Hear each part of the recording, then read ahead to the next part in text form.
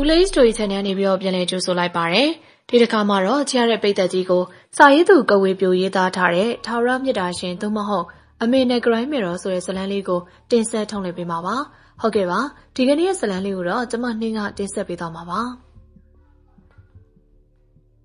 ဟာကျွေးကျွေးကောက်ဆက်ပြီးပြန်လာတဲ့ဒေါခင်မိုးတောက်ကြောက်လန့်တကြားထောက်အောင်လိုက်တယ်။တကယ်ဆိုသူ့လိုရွာသူကြောင်းနေနဲ့ကျွေးရကြောက်စရာမှမဟုတ်တာ။ဒါပေမဲ့သူတွေ့လိုက်ရတဲ့ကျွေးကြီးကနဲတဲ့အကောင်ကြီးမဟုတ် တာမန်ကျွဲတဲ့နှစ်ဆလောက်ကိုကြီးတာပြီးတော့သူသွားနေတဲ့လမ်းနောက်ကလိုက်လာတယ်။ကျွဲကြီးကိုမြင်တဲ့တော်မိုးကြက်သိန်းတွေတပြန်းပြန်းထလာတယ်။ထော်ခင်မိုးခြေလန်းတွေခက်တက်တက်လန်းလာပြီးတော့ဦးကျော်ကလည်းကာကာမျက်လုံးကလည်းနီးလို့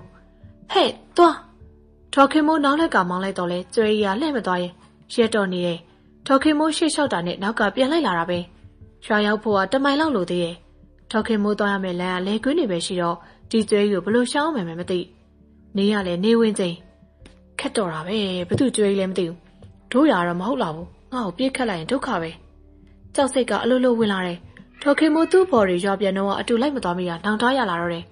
သူ့ယောက်ျားကိုကန်ဆောင်ကလည်းရွာမှာသူဘသူအကူကြီးတောင်းရမလဲဖះဖះငါနောက်လိုက်တော့ရွာကလည်းရောက်ပွဲမရောက်နိုင်ဘူးအေးငါတခုခုလုံးမဖြစ်မယ်စိတ်ထဲကပိုင်မြက်ပြီးခြေလန်းတွေကိုရက်ပစ်လိုက်တယ်နောက်ကလိုက်လာတဲ့ကြွေးပတ်လှည့်ပြီး နင်ဘာလို့ငါနောက်လိုက်လာလဲနေပိုင်ရှင်စီတင်နင်းသွားပါလားအဲ့လိုပြောလိုက်ရတော့ကျွဲကြီးကရှစ်ဆက်မလန်ပဲနေရာမှာရက်ပြီးခေါင်းရိုအောက်ဆိုင်ထားရတယ်ပြီးတော့ဒေါခင်မိုးပြောတာကိုနားလည်တဲ့ပုံနဲ့ခေါင်းရင်ပြတယ်ဟင်ဒေါခင်မိုးအံ့ဩစိတ်ကိုတင်းပြီးတော့နင့်မှာပိုင်ရှင်မရှိရင်ငါနောက်လိုက်နေမလို့လားအဲ့လိုမေးလိုက်ရတော့ကျွဲကြီးကခေါင်းညိပြတယ်ဟင်စကားပြန်မပြောတတ်ပေမဲ့သူပြောတာအောင်နားလည်နေတာထူးဆန်းနေငါအိမ်မှာနွားတွေပဲရှိတာနင်းတကောင်နဲ့ဘယ်လိုလုပ်မလဲ ပိုင်ရှင်ပေါ်လာရင်ငါပြဿနာဖြစ်အောင်မယ်ဒေါခင်မိုးကပြောတော့ကျွဲကြီးကမြေကြီးပေါ်ဝစ်သွားပြီးတော့သူဒေါခင်မိုးနဲ့နေချင်းကြောင်အရေးအောင်မှုရပြတော့တယ်ဒေါခင်မိုးကကျွဲကြီးကိုကြည့်ပြီးတနာလာတာနဲ့ကဲကဲနောက်မှနောက်အရောက်ပဲလိုက်တာလိုက်ခဲ့တော့ဟေးအဲ့လိုပြောပြီးရှေ့လှည့်ပြီးတော့ကတ်တက်တက်လျှောက်တယ်နောက်ကိုလည်းမကြည့်တော့အဲ့လိုနဲ့ရွာထိပ်ရောက်တော့ဟင်ငါဘလို့ဖြစ်တာလဲသူ့ခန္ဓာကိုယ်တစ်ခုလုံးရှင်းကနေဖြစ်သွားပြီးစပင်များပင်ထောင်လွတ်သွားရတယ်ခန္ဓာကိုယ်တစ်ခုလုံးလည်းပေါ့ပါသွားတယ်လို့ခံစားရကြောင်း ရွာရဲရှိအိမ်ကိုခက်သက်သက်ပြန်လာတော့တယ်။ချန်ရောက်တော့ကိုကန်ဆောင်ရေးကျုံနောက်ကိုဘယ်ကကျွေးလဲမသိဘူးလိုက်လာတယ်တော့။ဟင်ဟာကျွေးကျွေးဘယ်ရောက်သွားလဲ။အန်ဟောစာအော်ဟစ်ပြီးလက်ဖက်ဆိုင်နဲ့ခေါင်းထဲမူပြီးလဲကြလို့သွားတော့တယ်။ဟဲ့မခင်ဘာလဲဟဲ့ဘာလဲအဲ့ရတဲ့အတင်းကျုံအောင်နေတဲ့ဒေါခင်မိုးသူ့ယောက်ျားဥက္ကဲဆောင်ကအတင်းလုပ်ပြီးမေးတယ်။ဟင်ဒေါခင်မိုးရဲ့မျက်လုံးတွေပွင့်လို့လာတယ်။ကျုပ်ကျုပ်အိမ်မက်မက်နေရပဲ။ ဒေါခင်မိုးလည်းသူ့အိမ်မက်မမန်းတရားမှစိတ်ထဲပေါ့သွားရတယ်။ကိုကန်ဆောင်ကျုပ်အိမ်မက်မနေတာအိမ်မက်ကအရန်ထူးဆန်းနေ။အေးအေးနောက်မှပြောငါရေသွားခံအောင်မယ်။မင်းကြည်ရတာတအားမောနေရမလား။อืมဥကန်ဆောင်ကအဲ့ရထားပြီးအင်းရှိတောက်ရေဦးစင်ကတောက်ရေတစ်ခွက်ယူပြီးဒေါခင်မိုးကိုတိုက်တယ်။တောက်ရေတောက်လိုက်။အဲဒေါခင်မိုးလည်းဥကန်ဆောင်ယူလာတဲ့တောက်ရေကိုတစ်ခါလုံးကောအောင်တောက်တယ်။ပြီးတော့မှသူ့အိမ်မက်ကြောင့်ဥကန်ဆောင်အဆဆုံးပြောတော့တယ်။မင်းအိမ်မက်ကထူးဆန်းလာကြည်လား။ ဟုတ်တယ်တော့အဲ့လိုအိမ်မမျိုးတစ်ခါမှမမတ်ဘူးပါဘူးသူများတွေမတဲလို့လည်းမကြားဘူးပါဘူးအေးတခုခုတော့တခုခုပဲဥကန်ဆောင်ကပြောရင်စကားရက်လိုက်တော့ဒေါခင်မောကစိတ်မရွှေစွာနဲ့ဘာတခုခုလဲတော့ရှင်းရလဲပြောကြရှိဆက်ပြောလေမင်းကိုဝင်ရမယ့်အိမ်မဖြစ်နေမလားရှင်းရလဲဒါပဲကျုပ်အသက်40ကျော်နေပြီငယ်တော့ကတော့ကလေးမရတာအခုအသက်ရပိုတောင်ပိုသေးရဲ့ဟင်ဥကန်ဆောင်ဘာမှမပြောတော့သူအသက်50ကျော်ပြီသူ့မိမတော်ခင်မောကလည်း40ကျော် အိမ်တော်တက်တဲ့20သာကြော်ခဲ့တာတာသမီတယောက်မှမရခဲ့တာသမီလိုချင်တာလဲပြောမနေနဲ့ဆူတောင်းလိုက်ရတဲ့ညောင်ပင်တွေဆိုတော့ရွာမှာရှိတဲ့ညောင်ပင်တွေအပင်စစ်နေပြီခလေးရမရခဲ့ခုတော့အရွယ်တွေကလွန်လာပြီးတာသမီရကိုမျောလင်းဆက်ကမရှိတော့ပဲပစ္စည်းဥစ္စာရလဲလဲပိုင်းရပိုင်းတွေဆိုတော့သူတို့အမွေဆက်ခံမှုတာသမီရတနာရကျင်တာပေါ့ကျုပ်တို့မနဲ့ရောက်ရင်ဆရာတော်ကိုသွားမရင်ကောင်းမယ်ဘာလို့လဲကျုပ်အိမ်မက်ကြောင်လေကျုပ်စိတ်ထဲမှာတမျိုးဖြစ်နေတယ်အေးလေမင်းသဘောပဲ ဆရာတော်ကြောင့်သွားကြတာပေါ့ပြန်အိတ်တော့ဒေါခင်မိုးလည်းဥက္ကန့်ဆောင်အပြောကြောင့်အသာငြိမ်ပြီးအိပ်ပျော်ရန်သာစူးစမ်းနေရတယ်ဟဲမက်ခင်မိုးဘလို့ဖြစ်တာလဲဖိုက်ကလေးကပူးထွက်လာပြီးတတန်ခေါက်ခြေဆုံးကောင်းဆုံးလိမ့်ပြီးရွာထဲလမ်းလျှောက်ထွက်လာတဲ့ဒေါခင်မိုးအတိမိတ်ဆွေတွေကတက်အံတော်ဘလို့ဖြစ်တာလဲအသက်ကြီးမှကံပေါ်တာပေါ့ဟုတ်တယ်ပဲပြောရမှာရွှေခေရီငါကိုဝင်ရနေပြီဒေါခင်မိုးကခက်ကြွားကြွားပြောလိုက်တယ်ဟဲကိုကန်ဆောင်တော့ပွားတာပေါ့ကောင်းတယ်ကောင်းတယ် သားသမီးဆိုတာယတနာမလားယူသားယူအသက်ကြီးလာလို့ကို့မှာတားထောက်သမီးကမရှိရင်ဒုက္ခရောက်မယ်မရွှေခင်ကပြောတော့ဒေါခင်မိုးက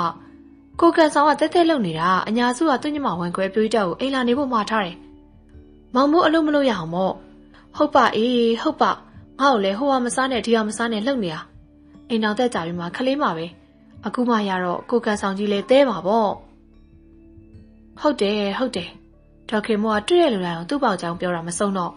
ကိုဝင်ကလည်းရလာတဲ့ကထူးခြားတယ်အသားငါဆိုလုံးဝစားကျင်စိတ်မရှိအထူးသဖြင့်ကျွဲသားနားတော့လုံးဝအနဲ့ခံလို့မရဒေါက်ခင်မိုးချင်းချင်းတက်ဆောင်ကမြေစာမျက်နှာလေးတနေ့ကိုမြေစာမျက်နှာလက်ထက်ခုတ်စာမစားပဲမနေနိုင်စားလိုက်ရမှအာသာပြေတယ်ကိုကန်ဆောင်ကတော့မင်းကွာသူများတွေချင်းချင်းတက်တာတမျိုးမင်းကြမှာမြေစာမျက်နှာကြက်ရရလို့အိုးတူလာမဲ့လို့ဒေါက်ခင်မိုးကိုဝင်ရလာတဲ့ကအလားပါပုံမက်လာတယ်မျက်နှာမှာတနက်ခါမပြက်ပစ္စည်းရှိသူဆိုတော့လေအဝိစားအောင်မထက်အောင်ဝစ်တာ ခင်မိုးကကိုဝင်ရမှရုပ်ရှင်ရိုက်မလို့နဲ့တူတယ်အလားပြတာလွန်ရောရွာတွေကပြောမနာဆိုမနာဖိုးထက်ကပြောတော့ဒေါက်ခင်မိုးကဟဲ့ကိုဝင်တဲ့ကမလှရဘူးလို့ဘသူပြောလဲအရင်ကနေကပိုးကယုံနေရလေအခုမှလှချင်လာတာမလားလှချင်တော့ဘာဖြစ်လဲဟဲ့ဒေါက်ခင်မိုးကပြောကထွက်သွားတော့ဖိုးထက်ကရီးသေးသေးနဲ့ကြံခဲ့တရားထဲနေတာကြတာတယောက်ကြောင်တယောက်သိကြတာပေါ့ဒေါက်ခင်မိုးတယောက်အလူတန်လည်းရေရောတယ်အရင်လူလာထက်ပို့လူလာရွာเจ้าမှာနေ့စဉ်ဆုံးဖို့တာမပြတ်ရွာထဲလိုအပ်တာရှိရင်လှူပြီးသား အဲ့လိုနဲ့ဒေါက်ခင်မိုးကိုဝင်လဲတဖြည်းဖြည်းရင့်လာတော့တယ်တညမှာတော့ဟဲ့ထဆန်းမအော်နေနဲ့အကုန်မသာဖြစ်ကုန်မယ်ဥက္ကဆောင်တဲ့ဒေါက်ခင်မိုးတို့ဖက်ခနဲ့လန်တို့ကကြည့်လိုက်တော့မျက်နှာမှာပေါ်ဝအနက်စာကြီးကိုစီးထားပြီးလက်ထဲမှာဓာတ်ရှိကြီးကိုကင်ထားသူ၃ယောက်ထဆန်းမအော်နဲ့တော့တေသွားမယ်ဥက္ကဆောင်လက်မောင်းကမလျှော့မတင်းဆွဲထုတ်ပြီးလက်ကိုနောက်ကိုထားပြီးတော့ကျိုးတုပ်လိုက်တယ်လို့အတန်မထွက်စေရင်ပါဇက်ကိုအဝေးစီးလိုက်တယ်ရှင်ရှင်တို့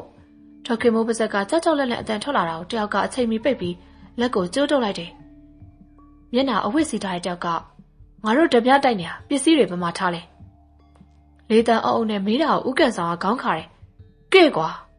ဓမြဒနောက်နဲ့ဥကန်ဆောင်ကောင်းကိုစောင့်လိုက်တော့ပါဇက်ကိုအဝေးစီးထားကြအတန်ကဝူးဝူးဝါဝါခေါင်းမှာလည်းဒနောက်နဲ့စောင့်တဲ့တန်ကြောင့်သွေးတွေကျလာတော့ဒေါက်ခင်မိုးတစုံတစ်ခုကိုလှမ်းပြောမယ်ကြတော့ဓမြတယောက်ကဒေါက်ခင်မိုးပေါ့ကိုရိုက်ပြန်တယ်ဓမြရဲတယောက်ကတိတ်လုံးကိုမှွေနှောက်ရှာတယ် ခဏကြာတော့တစ်တာတွေကပိတ်ပြူစာနဲ့ထုတ်ထားတဲ့ရွှေထုတ်ကိုတွေ့သွားပြီးတော့ဒီမှာတွေ့ပြီအေးဓမြတွေကရွှေထုတ်ကိုဝမ်းသာအားရကြည့်ပြီးတယောက်ကသူတို့ကိုဘယ်လိုလုပ်မလဲဒီတိုက်ထိုင်တို့ကိုရန်လုပ်နေမယ်လွဲပါတယ်ကွာရော့တနောက်နဲ့ဥက္ကဆောင်ရောဒေါက်ခင်မိုးကအားရပါခေါင်းဆောက်ချလိုက်တော့နှစ်ယောက်လုံးမေးမျောငြိမ်သက်သွားတယ်ဓမြတော့ရလဲစိတ်အေးလိမ်နဲ့အိမ်မမဆင်းပြီးမဲမောင်နေတဲ့ရွာလယ်လမ်းမှာခြေတလုံးလုံးနဲ့ရွာပြင်မဲ့ထွက်လာတော့တယ်ငါအဲ့လိုလွယ်မယ်မထင်ဘူးကွာ ရမ်းမဲ့ရတော့လေအလွယ်လေးအေးရွှေတွေကတပိတ်တာလောက်ရှိမယ်တို့အညီမြခွဲကြတာပေါ့ရွာပြင်ရောက်မှလုပ်ပါသုံးယောက်သားလေးတန်းအုပ်နဲ့ပြောလာတာတော့သူတို့နောက်ကတယောက်လိုက်လာတဲ့ခြေတောင်ကြားရတယ်ဟင်လှည့်ကြည့်လိုက်တော့အမောင်ထဲမှာဘာမှမတွေ့ရဟဲ့ကောင်ကြားလားကြားတယ်ဘာလို့လဲမသိဘူးတွေ့ရင်တော့အပြက်ရှင်းမယ်တို့မြင်လို့မဖြစ်ဘူးအေးဟုတ်တယ်တယောက်နဲ့တယောက်ပြောနေကြပေမဲ့ခြေတန်းရက်မသွားကြားရတော့ရွာထိပ်ရောက်တော့နှာမုတ်တန်ကြီးထွက်လာလို့တော့ရောက်သားဗျိုက်တူလှည့်ကြည့်လိုက်ရ ဟာကျွဲကြီးကြီးမောတဲ့ကျွမ်းတဲ့ကြီးကသူတို့စီကိုတုံတိုးပြေးပြီးလာတော့တယ်တကြီးရေထပါအောင်ရွာထဲမှာအလောင်းသုံးလောင်းတွေ့လို့ဗျအိမ်ရှိကလာနိုးတန်ကြောင့်တကြီးပါခင်လဲအိယာလူးလဲထားလိုက်တယ်ဖိုးခင်ဘာလဲကွာစောစောစီစီရွာထိပ်မှာလူသေးလို့တကြီးရေတကြီးလိုက်ကြည့်အောင်လူသေးလို့ဆိုတဲ့စကားတကြီးပါခင်ကိုခေါင်းကြီးသွားစေတော့တယ်ဘသူတွေလဲဘဲရသူတွေလဲတကြီးဆိုတော့အရက်ထဲပြဿနာဖြစ်ရင်သူ့မှာတာဝန်ရှိရမလားမျက်နှာတော့မသိပဲပစိုးကိုပြေဝင်ပြီးအိမ်ထဲကထွက်လာတယ် ချန်ပီယံမှာလည်းသူ့ကိုစောင့်နေတဲ့ရွာသား၃-၄ဦး